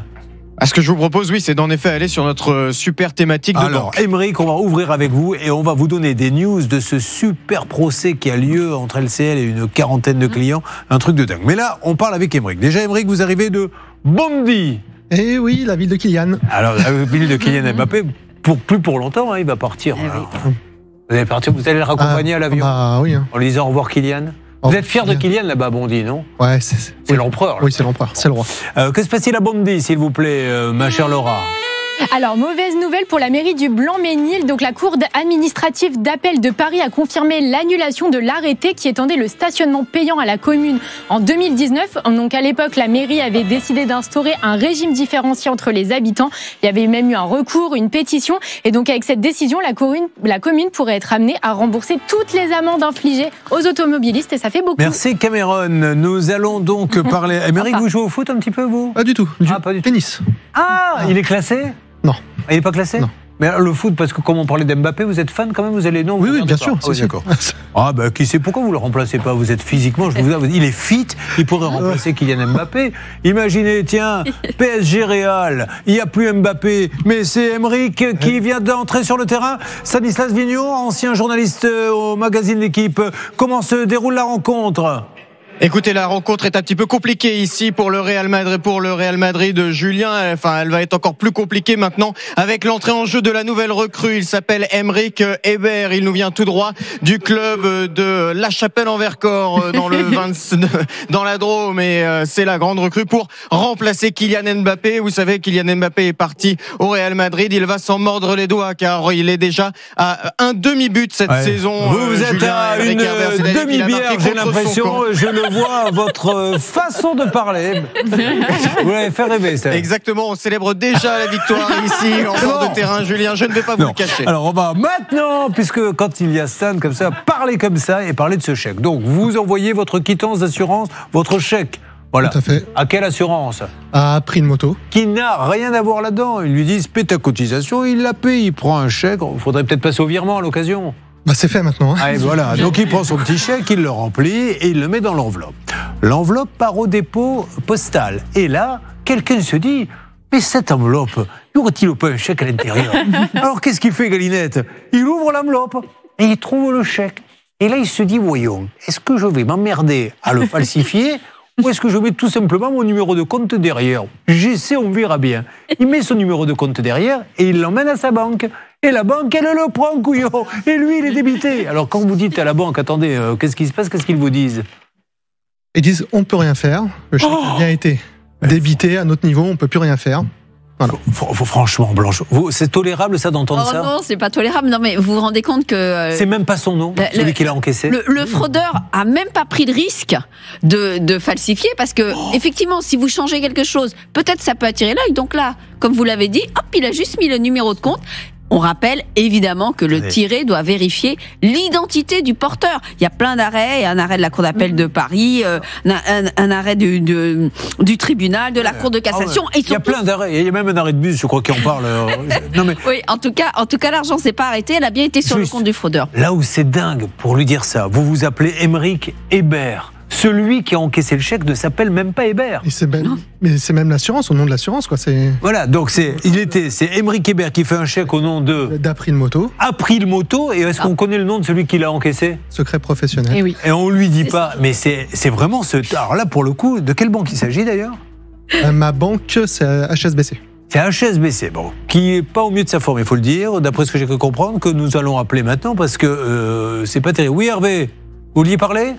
Non, non, non, non, j'étais en train de vérifier parce que j'avais une mèche qui, qui, qui, qui tombait, donc euh, je n'ai pas du tout levé Alors, la je main, suis hein. désolé, j'explique un petit peu la cuisine interne. Euh, j'ai un Bah écran oui. de contrôle où je vois la salle des appels qui n'est pas située au même endroit que nous. Et je vois depuis tout à l'heure Hervé faire des signes comme ça, en fait, ce qui lui sert de mèche devant, et il essayait de la remettre dessus, mais il ne voulait pas Eh me oui. parler. Bon, alors on y va, on appelle tout de suite sans plus tarder. C'est quand même pas normal ça. Euh, Céline, d'autres choses à dire? Oui, la réponse de la banque est hallucinante. On ne vous rembourse pas. Vous devez vous retourner vers l'établissement bancaire qui a encaissé les fonds.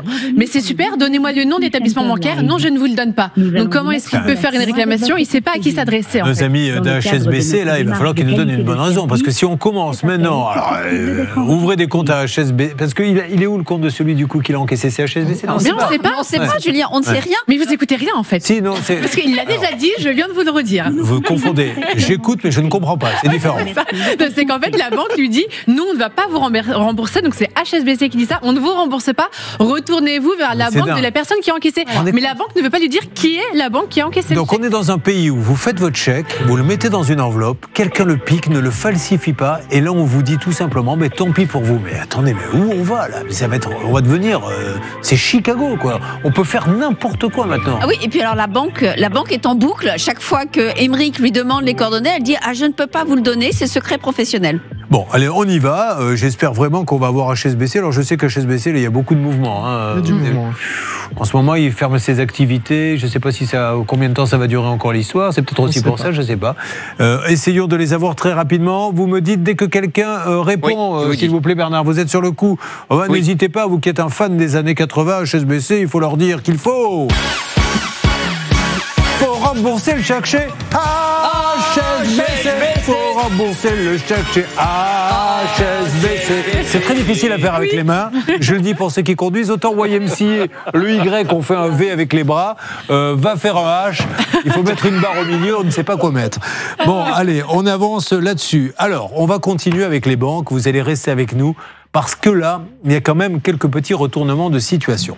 Je voudrais, Céline, que vous nous rappeliez après, il y aurait une petite pause, mais on va prendre des gens au téléphone. Franchement, c'est une avancée incroyable. Ce qui s'était passé avec un jour un vétérinaire qui nous appelle. Oui, c'est un vétérinaire qui s'est fait euh, pirater son compte bancaire à hauteur de 40 000 euros, le compte de sa clinique vétérinaire. Et on se rend compte en fait à la rédaction que de nombreuses personnes nous contactent, toujours la même banque, LCL, toujours à la même période, dans un espace-temps de trois mois, des dizaines et des dizaines de victimes et jamais de remboursement de la banque. Le vétérinaire monte un groupe WhatsApp. Il récupère énormément de gens qui se sont fait avoir. Et il décide d'attaquer. D'attaquer LCL, il se regroupe. Alors LCL après a de bons avocats qui vont tenter dans un premier temps de dire ben non, ils sont 40, on ne peut pas, secret professionnel, bancaire, il faut qu'ils attaquent un par un. Le juge dit non, ça sera groupé. Voilà où on en est. Mais on découvre, et là je vais vous donner euh, le résultat dans quelques instants, qu'un homme s'est fait en même temps arnaquer, mais n'est pas passé par le groupe, a décidé d'attaquer tout seul, et lui, il a eu sa décision. Eh bien, vous l'aurez cette décision dans une seconde. Ensuite, d'autres arnaques et des questions-réponses en fin d'émission dans la bonne humeur. Ça peut vous arriver. Litige, arnaque, solution.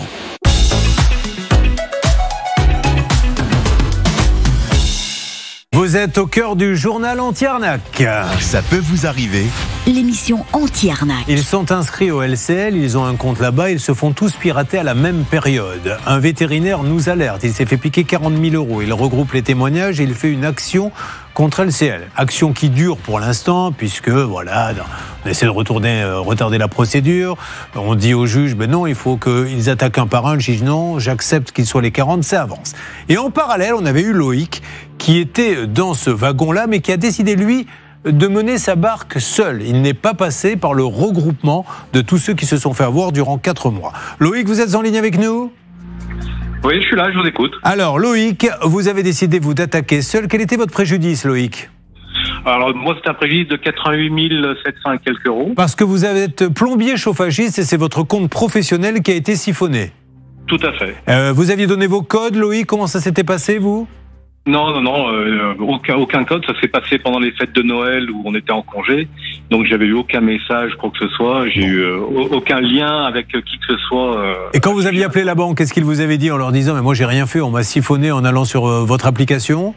Ah bah la banque c'est six mois après les procédures etc qui nous dit non on vous prend pas en charge vous avez dû donner vos codes. Voilà, vous avez dû, on n'amène aucune preuve, ce que dit la loi. Donc vous avez décidé d'attaquer seul. Et je vous dis bravo, pouvez-vous nous dire aujourd'hui ce que vous avez gagné? Et après, on détaillera ça avec Blanche Grandvilliers, avocate. Eh ben écoutez aujourd'hui il y a donc il y a une quinzaine de jours j'ai eu le plaisir de retrouver viré sur mon compte la somme de 82 900 et quelques euros. Donc euh, 80 000 de remboursement du, de la, de la- du préjudice, plus 2 000 euros de, euh, sur le, le coût de la loi euh, bah, du truc 700 là. Le, le machin 700, oh là, vous avez raison de l'appeler comme ça. C'est jamais ce C'est quoi le machin 700 déjà L'article 700, c'est pour les frais de procédure. Bon, alors, que dit exactement le chemin C'est incroyable cette décision. Hein. C'est c'est dingue. C'est c'est la troisième que nous annonçons sur cette antenne de d'usagers comme vous qui gagnent contre leur banque quand leur banque leur dit vous avez dû faire une manipulation, on vous rembourse pas. Que dit le, le jugement? Alors le jugement retient que la banque a manqué à son obligation de vigilance. Pourquoi? Parce qu'il y a eu 14 virements qui ont été faits en 3 jours, 14 virements pour plus de 88 000 euros, comme vous l'a dit Loïc, et qu'effectivement, en application du Code monétaire et financier, elle aurait dû vérifier. En plus, c'était des virements à destination de l'étranger, et que en ne- n'opérant pas cette vérification pour bloquer les virements, Ouais. elle a manqué à son obligation, elle doit les rembourser. c'est dans la région où les 40 autres attaquent, c'est-à-dire vers Lyon, hein, Loïc, on est d'accord Oui, oui, ils sont- il y, a- il y a un peu Lyon, puis il y a un peu l'Antoinette qui est sur Paris. Ah, Donc c'est un peu le même juge qui risque de s'occuper de tout ça. Oui, sûrement, c'est le même tribunal de commerce Bon. a priori. Voilà, bah écoutez, excellente nouvelle pour les 40 qui sont toujours en attente. On n'a pas pu joindre notre ami vétérinaire pour nous dire où il était, où il en était dans sa procédure, mais en attendant, c'est gagné. Je rappelle que Maître Novakovic nous a annoncé sa vie. Alors ils ont fait appel, hein, il faut quand même le dire, et ils ont tout à fait Oui, le oui, droit. voilà, La banque a fait appel, donc on, on sera là aussi pour donner le, même si vous perdez en appel, pour donner le résultat. Il y a quelque temps, Maître Novakovic nous a annoncé qu'une euh, une secrétaire, figurez-vous, avait reçu un appel euh, avec le numéro de la banque sur son portable. Donc elle a répondu et donc elle a donné tous ses codes. Elle était persuadée que c'était son banquier. Donc la banque a dit vous avez donné les codes, tant pis pour vous, on vous rembourse pas. Ils ont été au tribunal. Elle a gagné. Donc là, le juge a dit oui, mais comme il y avait le numéro de la banque, c'est normal qu'elle a donné des codes. Donc vous gagnez tous vos procès. N'hésitez pas. Allez-y, allez devant les juges parce qu'ils donnent raison euh, la plupart du temps aux usagers, d'accord? Exactement, il faut pas hésiter. merci beaucoup. hein. Aurélie, on s'en va Aurélie, vous parlez comment? Ouais, content sur Aurélie parce qu'on est en train de dire D'ailleurs, euh, euh, Hervé Pouchon, en ce qui concerne Oui. Aurélie, on en saura un petit peu plus parce qu'il faut rapatrier la voiture hein, puisqu'on va avoir le remboursement. Oui, il va falloir que je le rappelle. Ouais, d'accord. Merci. Bon, ben c'est super. Je vous remercie Loïc. Euh, Vous êtes un homme heureux, je suppose. Bah écoutez, aujourd'hui, ça fait quand même plaisir. Bon, c'est vrai que c'est une victoire en demi-teinte puisqu'il y a cette, euh, cet euh, appel qui a été fait. Oui. Elle a gagné en appel, hein, Sylvie Dankovic. Sylvie hein. Oui, elle avait gagné Ouais. en appel, donc Bon. c'est définitif. Ouais, Et Maître Moser aussi. Tenez-moi au courant, Loïc.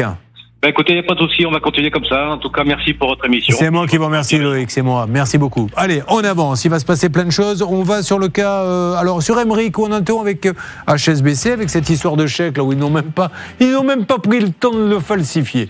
Maintenant, les, maintenant l'arnaqueur n'a plus le, vous savez, la, la notion du travail bien fait. Euh, Où en est-on, s'il vous plaît, avec HSBC, celle des appels Julien, je viens d'avoir donc la direction de Oui. HSBC qui est surpris dans mes demandes de cette conversation parce qu'on ne l'y avait pas informé de ce, de ce dossier-là. Il y a une dame qui s'occupe de ce dossier qui est Fatima, euh, qui est la, resp- la responsable conseiller de notre ami en question, qui est sur le plateau, Émeric. Et donc on devrait me rappeler cet après-midi. Alors après, vous voyez, à LCL, là, il y a des gens qui ont décidé euh, d'attaquer, mais il faut quand même reconnaître et être objectif. À chaque fois qu'on les appelle Hervé Pouchot, le LCL, il règle le problème. hein. Nous, là, il y en avait 40, donc ils se sont dit, on va peut-être pas régler les 40, on va peut-être laisser le juge euh, voir euh, ce qu'il peut faire. Mais nous, quand on les appelle pour des problèmes individuels, c'est une des banques qui est la plus communicante, Hervé. Oui, c'est vrai avec la Société Générale, le Crédit Agricole également, mais c'est vrai qu'LCL de régler un maximum de dossiers. Et puis 1, 2, 3, 60, 80, au bout d'un moment, on dit, oh, laissez-nous un petit peu tranquille. D'accord. Voilà. Ils n'ont pas dit vraiment comme ça, mais c'était en tout cas Ouais, l'esprit, bien sûr. Dans Alors. Loris est avec nous et avec votre esprit. Bonjour Loris, comment va notre beau barbu qui fait un travail remarquable et qui est avec Lionel? Loris, expliquez-nous où vous vous trouvez et quel est le problème de ce monsieur à côté de vous qui, le pauvre, a une épée de Damoclès au-dessus de la tête? Oui, bonjour Julien, je suis à Épinal dans les Vosges et derrière moi, il y a un bureau de tabac. Mais son rideau est fermé depuis maintenant près d'un an. La raison, eh bien, en avril 2023, une entreprise vient débarrasser le local d'à côté. C'est un pressing et euh, elle déverse une cuve de solvant toxique. Alors, le pressing est pollué, mais également le bureau de tabac. Plus personne ne peut rentrer dedans jusqu'à ce que des travaux de dépollution soient enclenchés. Et donc, le problème, c'est qu'aucune assurance n'intervient, ni celle du local du pressing, ni celle de Lionel, le buraliste avec qui je me trouve. Et Lionel, vous, vous le vivez vraiment comme une, bah, comme une véritable injustice. Ah, une injustice euh, plus que totale, oui, oui. Bonjour à tous. Euh, en fait, euh, nous, depuis le 4 avril euh, 2023, notre vie a basculé. Voilà. Euh, Aujourd'hui, on est euh, bah, les bousillés, hein, car- carrément. hein. Euh, j'ai failli, euh, en plus, j'ai été hospitalisé à l'époque suite aux émanations de produits euh, de perchloroéthylène euh, de cet ancien pressing qui était fermé depuis 1996. Et euh, donc, euh, c'est totalement anormal quand- que, que, que ce produit était encore dans les locaux. Et euh, d'autant plus qu'a priori, euh, au 1er janvier 2022, il devait avoir disparu.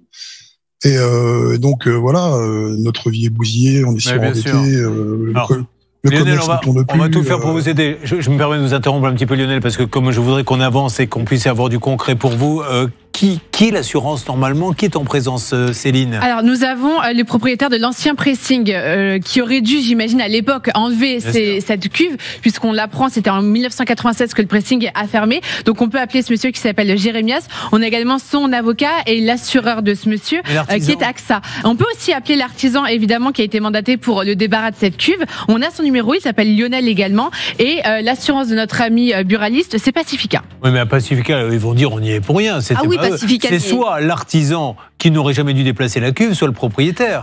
Sauf, sauf que euh, l'artisan, a priori, n'est pas assuré. Oh Et, et quant, à, quant au propriétaire, il a bien une assurance, mais qui considère qu'elle ne doit pas assurer dans ce cas-là, parce qu'elle n'a assuré qu'un local commercial sans matériel, et c'est le matériel Attendez, qui a causé il n'est pas du tout assuré, l'artisan? Il semblerait que non. On appelle l'artisan en premier, s'il vous plaît. Euh, qui est sur ce cas? C'est vous, Hervé? Oui, c'est moi. on appelle l'artisan. Dis donc, un artisan qui est pas... C'est du pénal, ça. Hein? Euh, oui, Julien, mais il faut- S'il n'est pas assuré. s'il n'est pas assuré pour son activité, Alors, voyons ce qu'il va nous dire. En tout cas, lui, il a manipulé la cuve et c'est lui qui l'a renversée. Exact, oui. Alors moi, je suis désolé, mais la propriétaire, même si euh, elle dit, elle savait qu'il y avait une cuve, elle dit un artisan faites ça, il aurait dû dire attendez madame, euh, je prends des précautions. Voyons ce qu'il va nous dire. On appelle l'artisan mandaté pour le débarras du local voisin. Est-ce que ça parti. Nous sommes à Le Rhin. Le Rhin, c'est dans le 88.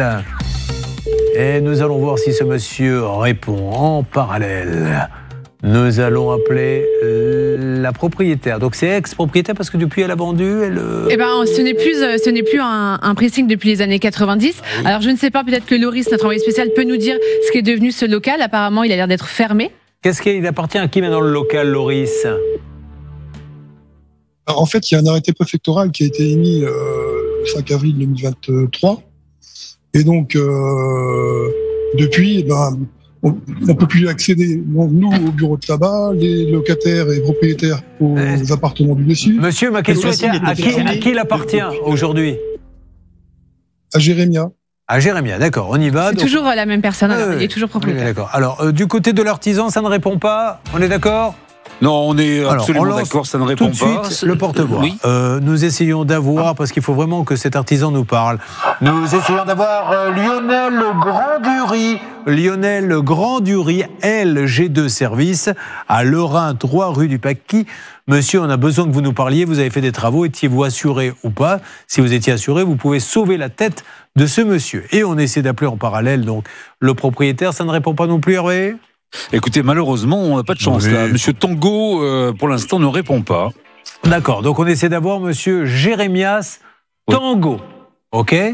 Allez, c'est parti, Jérémias Tango. Merci de nous rappeler. Vous étiez le propriétaire du pressing qui se trouve dans quelle ville déjà, euh, Céline Euh, je crois que c'est euh, Épinal, il me semble. Bon, écoutez, on va. Oui, c'était Épinal. Bon, euh, le- autre chose à rajouter, Laurie, c'est- c'est bon, on va lancer tous les appels et on va essayer d'interpeller absolument tout le monde, y compris sa propre assurance. J'aimerais bien que, s'il vous plaît, Hervé, vous puissiez euh, avancer euh, un petit peu.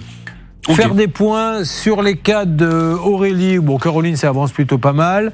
Aurélie, on va voir si avec son assurance l'Olivier, ça a bougé.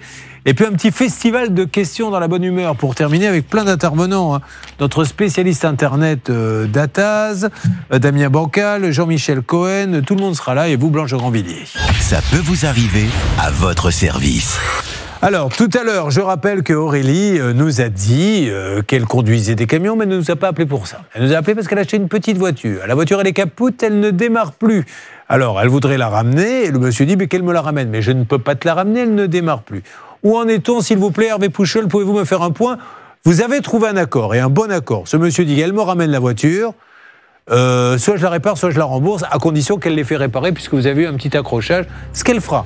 Euh, Est-ce que l'Olivier est d'accord pour le ramener là-bas? Ça a bougé ou pas? Alors j'attends la réponse de, de l'Olivier pour le rapatriement. Mais en fait, ça c'est pas, c'est- très important qu'elle puisse ramener ce véhicule le plus rapidement possible. Mais surtout, ce monsieur s'est engagé à le réparer et ensuite, soit à lui proposer le Oui, véhicule en bon état, soit à lui rembourser. Très bien, Voilà. aujourd'hui, il faut le ramener là-bas. Donc euh, pour l'instant, vous n'avez pas eu l'Olivier. Hein j'attends une- des, des nouvelles de l'Olivier d'une minute à l'autre. On galère un peu. C'est vrai, moi je m'adresse à nos amis de l'Olivier. Euh, euh, On a un petit peu de mal à vous joindre. On a essayé de vous appeler cette semaine pour un autre dossier, donc essayons d'avancer. Sinon, si on n'a pas des nouvelles de l'Olivier là rapidement, on demandera à quelqu'un. Vous êtes allé dans quelle ville votre voiture exactement? Balleroy, devant chez moi. Alors Balleroy devant chez elle. Et euh, Balleroy, ça se trouve dans quel département? Calvados. Dans le Calvados. Donc si quelqu'un a un petit, vous savez, c'est ces petits camions là où on peut mettre une voiture derrière et peut faire 10 km pour nous rendre service, ben, on sera ravi de lui renvoyer l'ascenseur pour essayer de gagner un petit peu de temps. Mais là, d'ici là, on va essayer d'avoir l'Olivier. Caroline, euh, Caroline, qu'est-ce qui lui arrive à Céline? Eh bien, Caroline, elle a fait confiance à une entreprise pour la couverture de sa maison qui est en construction. Elle a versé 57 000 euros et depuis les travaux, malheureusement, il y a des fuites dans la maison. Et il faut une expertise, mais pour qu'il y ait une expertise, il faut qu'on contacte l'assurance. Et ce monsieur l'a fait. Il a contacté la SMA BTP. Et le problème, c'est qu'il n'y a aucune nouvelle de la SMA BTP. Donc vous avez cherché euh, Laura appelé Rouen. Oui, exactement. Alors j'ai eu euh, l'assurance de l'entreprise, donc SMA BTP. Euh, le dossier est bien en cours, il est ouvert, il n'y a pas de refus, il n'y a pas de souci. Ils doivent revenir vers moi dans les prochaines minutes euh, pour m'en dire plus, mais en tout cas, je pense que ça va accélérer les choses. Et je demande à tout le monde d'aller sur le réseau X, euh, sur le hashtag CPVA. Est-ce que Laura Uricel ressemble à Cameron Diaz, comme le dit euh, Céline qui en est persuadée, elle dit si, si, elle lui ressemble, dites-nous. On ne dit pas qu'elle elle est très jolie, mais on ne voit pas la ressemblance personnellement, peu importe. Euh, on avance. Est-ce que du côté de HSBC, on nous a répondu, s'il vous plaît, pour le chèque d'Emeric?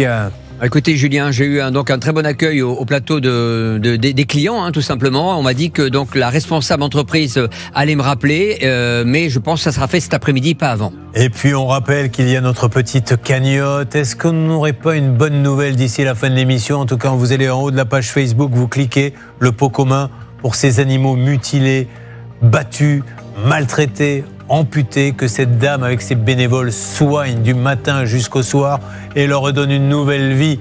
Est-ce qu'on va arriver à construire ce mini hôpital pour eux? Peut-être qu'on aura des nouvelles tout à l'heure. Sur RTL. Mettez deux pieds en canard, c'est la chenille qui redémarre. Alors vous avez plein de questions à poser, vous vous dites oui, mais si je suis jeune avocat, ça va me coûter cher pour une simple question. Aidez-nous, nous sommes là pour ça. C'est parti pour la foire aux questions. Et puis bien sûr, des alertes à n'importe quel moment sur les différents cas. On commence euh, par laquelle, euh, s'il vous plaît, euh, Céline On va commencer par la question d'Hubert. C'est une question pour notre ami Jean-Michel Cohen, notre médecin. Ah ben déjà, est là Jean-Michel qui est en, en duplex et Hubert aussi est là? Alors Hubert, c'est- il nous a envoyé un message par euh, ça peut vous arriver. Arobase prenez une M6.fr. voix d'Hubert alors. Ok, salut Julien. Salut, J'ai remplacé euh, le pain par des biscottes sans sel. Est-ce que c'est vraiment bon pour ma santé? C'est meilleur ou pas? Notre nutritionniste est là, monsieur Jean-Michel Cohen. Bonjour, vous avez entendu la question. Pouvez-vous avoir l'amabilité de nous répondre? Alors, il y a deux éléments qui sont favorables pour les biscottes.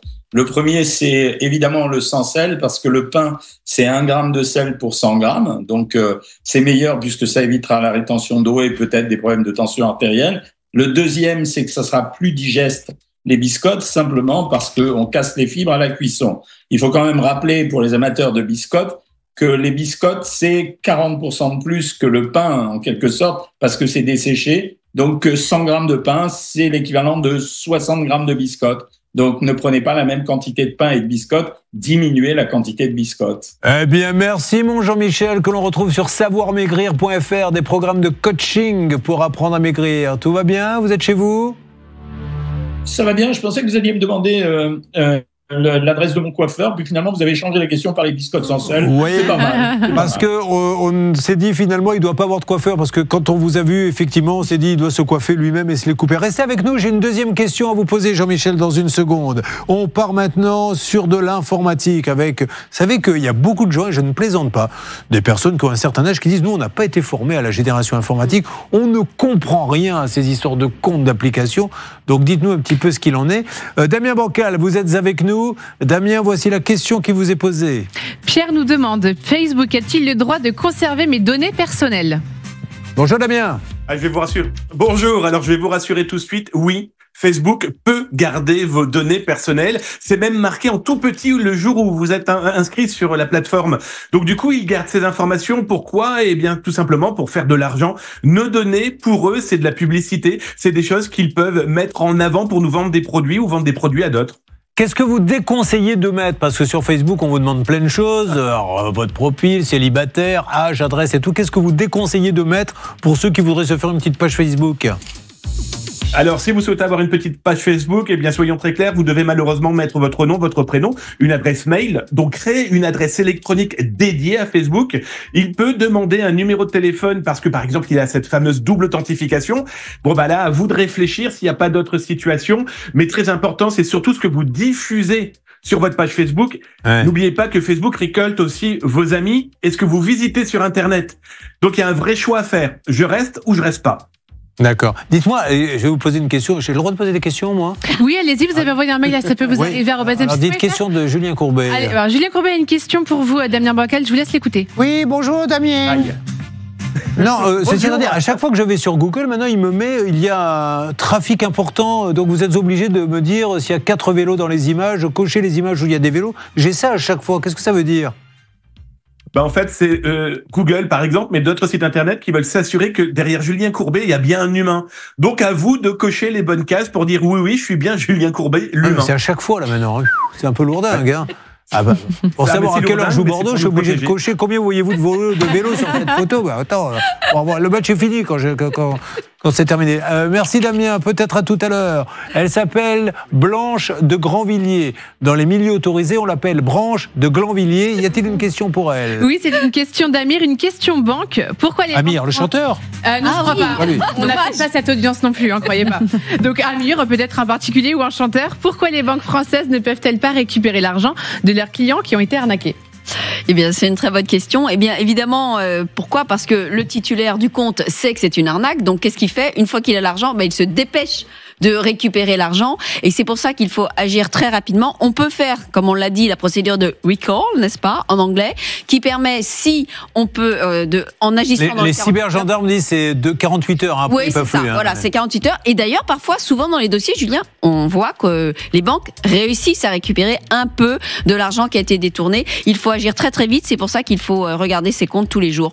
Sinon, c'est c'est trop tard. Alors, avant d'avoir une autre question, tout à l'heure, euh, notre Aurélie euh, qui est là nous a dit qu'elle aimait un groupe des années 80. Comment il s'appelait déjà Les années 2000. Les années 2000 Sniper. Les snipers. Et là, Blanche de Grandvilliers dit Mais vous savez que moi, Blanche de Grandvilliers Châtelaine, euh, je sais rapper. On lui dit C'est pas possible. Tu rappes, toi? Et euh, nous allons vous faire écouter le petit rap oh, mais qu'elle nous a fait en direct. Un petit cadeau à tous ses clients et futurs adversaires au tribunal. C'est parti. Et Julien, t'es bête. Comment tu veux que je rappe Moi, châtelaine. Ça marche. Oh la parodie, les clichés, les clichés, vous savez, les clichés de banlieue. Nature. Ils parlent pas comme ça, les rappeurs, enfin. C'est de votre faute. Me faites Bon. pas faire ce genre d'expérience. Allez, une nouvelle question pour votre médecin nutritionniste, le grand, l'unique Jean-Michel Cohen. Une question de Jocelyn. Est-il vrai qu'il faut laver le riz avant de le cuire Et qu'en est-il des pâtes? Est-ce qu'il faut laver le riz et les pâtes, Jean-Michel Cohen, nutritionniste?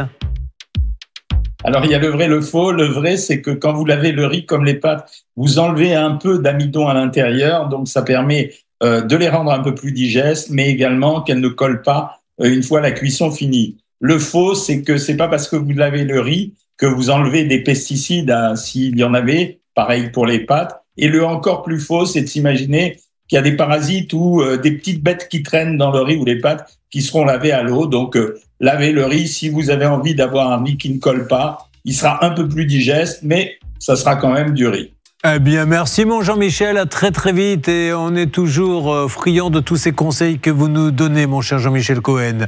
L'informatique, le piratage, on en a parlé. Émeric lui s'est fait piquer son chèque, mais aujourd'hui il rentre dans vos comptes bancaires comme dans du gruyère et c'est la question que pose Michou. Oui, Michou qui nous demande concernant l'immense piratage de données de mutuelles, faut-il déposer plainte? Et c'est oui contre qui? Contre la mutuelle, contre le prestataire tiers payant ou alors contre X? C'est un quiz qui pose, maintenant les auditeurs ils posent Mais- plus des questions, ils font des quiz. Alors, Lequel des deux? Damien Oui, alors effectivement, ce, ce potentiel grand piratage, parce que pour le moment, on ne sait pas véritablement si les 33 millions d'informations euh, de Français ont été volées. Mais toujours est-il que oui, il faut déposer plainte. On va déposer plainte contre X, et pour ça, il faut aller directement sur la plateforme cybermalveillance.gouv.fr qui propose eh bien un document qui permet de pré-remplir une plainte, eh bien pour ensuite poursuivre d'abord effectivement potentiellement les entreprises qui ont fauté, mais surtout eh bien ceux ou ces pirates informatiques qui ont pu Bon, merci beaucoup. Alors, je rappelle pour ceux qui ne vous voient pas, Damien, que vous êtes dans une espèce de, de salle dans laquelle vous avez cinq ordinateurs euh, derrière vous. On se croirait dans les experts de Miami, mais en fait, aucun ne sert à quelque chose. Hein, vous travaillez toujours au Minitel, on est bien d'accord C'est exactement ça. Je suis plutôt euh, expert à Lille. On vous euh, retrouve sur votre site zataz.com. Voilà, n'hésitez pas à nous poser des tas de questions comme ça. On apprend des tas de choses grâce à ça. Comment fait-on, s'il vous plaît, Céline? Vous envoyez un mail à ça peut vous arriver m6.fr. Ah, ah, nous avons, je crois, le, pour le pressing, l'ancien Géraud qui est là. Allô, oui. Quittez pas Jérémias. Oui, Jérémias. Non, non, c'est pas, c'est Jérémy. Bonjour Jérémias, vous allez bien? Oui, ça va bien. Je me présente, monsieur, vous allez être un petit peu surpris. Julien Courbet à l'appareil, nous sommes en direct RTL et simultané M6. Je vous appelle parce que je suis avec le buraliste qui a du commerce, vous savez, suite à l'histoire de la cuve du, du pressing. Oui, oui. Est-ce que euh, vous, monsieur, alors aujourd'hui, lui vit une injustice terrible, est-ce que l'artisan que vous aviez pris pour vider la cuve était assuré? Euh, non, il n'était pas assuré personnellement, donc euh, c'est ce qui. Non, mais personnellement, mais il a, il a travaillé en temps à, à titre personnel ou avec une société? Non, il a travaillé avec une société, mais sa société. euh, N'était pas assuré D'accord. Donc du coup, vous-même, est-ce que vous êtes assuré? Vous aviez une responsabilité civile ou autre, vous, ou pas du tout? Moi, je suis assuré chez AXA. Alors, vous êtes assuré chez AXA. Vous avez fait une déclaration chez AXA, Jérémias? Oui, on a fait, oui, on a fait une déclaration de sinistre, etc. Et qu'est-ce qu'ils ont dit, AXA Eh ben, comme vous connaissez les assurances, hein, leur but c'est d'essayer d'éviter un maximum euh, le paiement de toute charge, quoi. Donc là, avec mon avocat, nous sommes en train de, de se battre pour pouvoir. euh, Oui, oui, Céline. Oui, j'ai une question simplement, euh, aucune malice, mais en fait, euh, le, le pressing a été fermé en 1996 et pourquoi est-ce que c'est en 2020 qu'il y a eu des travaux pour enlever notamment cette cuve en fait? Pourquoi ça traîne autant? Vous, vous n'étiez pas au courant Bah, qu'il y avait des produits dangereux? Non, en fait, moi, j'ai racheté, euh, j'ai racheté euh, le, le pressing euh, bah, il y a un an. Et puis moi, j'étais pas au courant qu'il y avait encore des produits euh, hyper Ah. dangereux, etc. C'est une agence notariale qui me l'a vendu. Alors, euh, on va faire un... Tout dans les- Bien compris, on va faire un petit point. On va essayer d'appeler AXA. Bonne nouvelle, hein. AXA, euh, ça fait partie des gens qu'on appelle et qui essaient de faire avancer les cas. Donc ce monsieur, en tant que propriétaire donc des murs du pressing, est assuré chez AXA, donc AXA peut peut-être jouer. J'espère qu'il n'y a pas de prescription.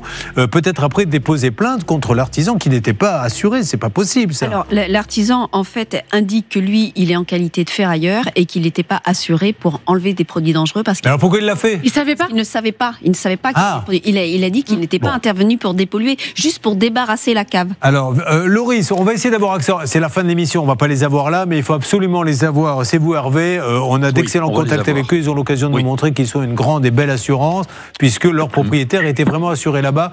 Vous essayez d'avoir la direction, comme ça on peut rappeler Lionel demain ou après-demain. D'accord, Hervé? Absolument, j'envoie les éléments. On fait comme ça, Loris. Prévenez euh, Lionel et on avance.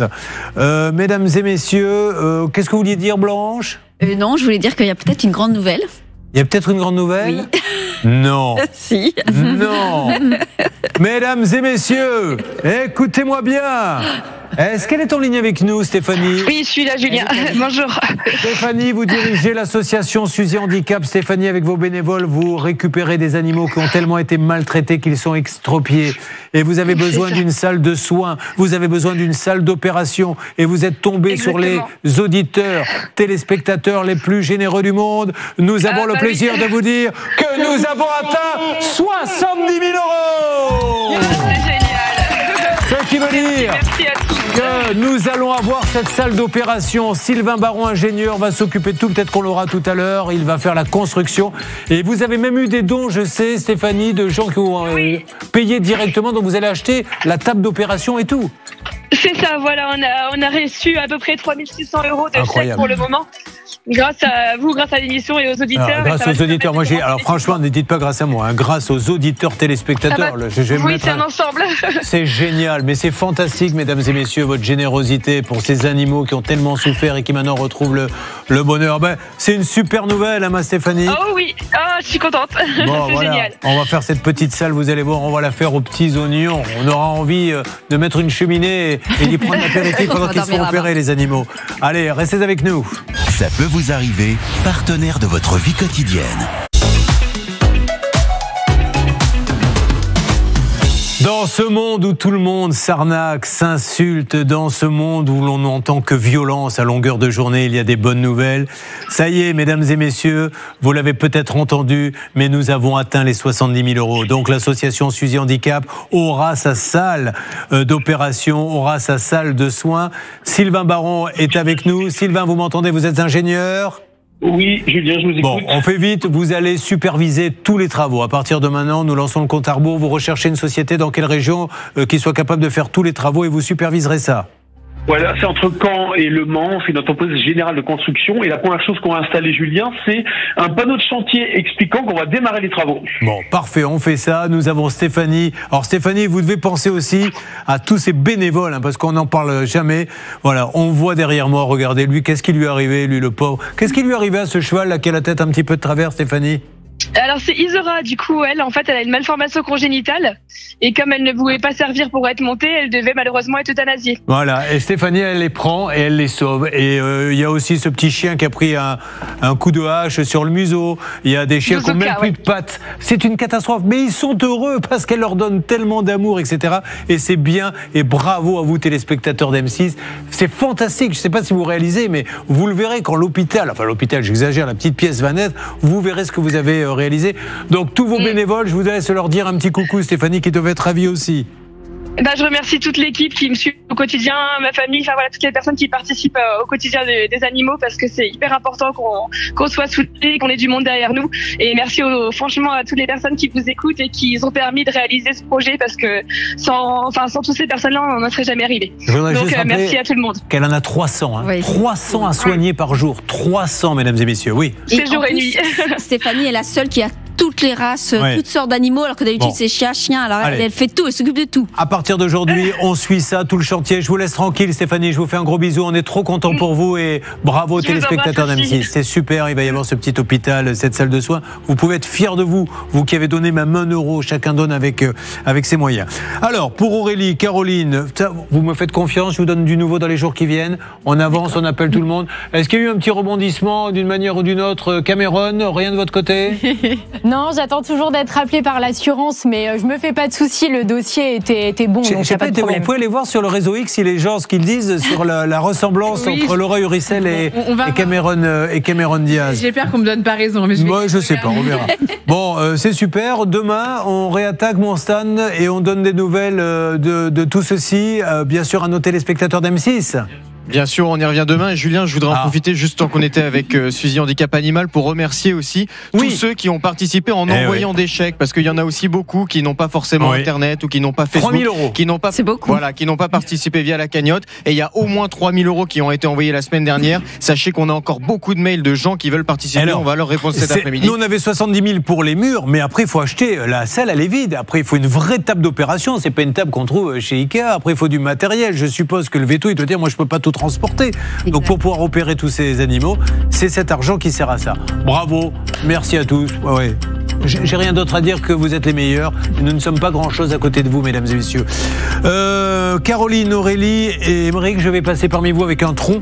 Si vous pouvez donner un petit quelque chose pour les retraites des gens du spectacle. Merci beaucoup. Besoin, voilà, ouais. et surtout pour euh, l'EHPAD, les tilleuls d'Hervé et Bernard qui réclament Merci, le paiement merci, de la fin de la mensualité. Merci à tous. Vous pouvez payer, vous, Blanche Grandvilliers. Hein Ah bah Bah, oui.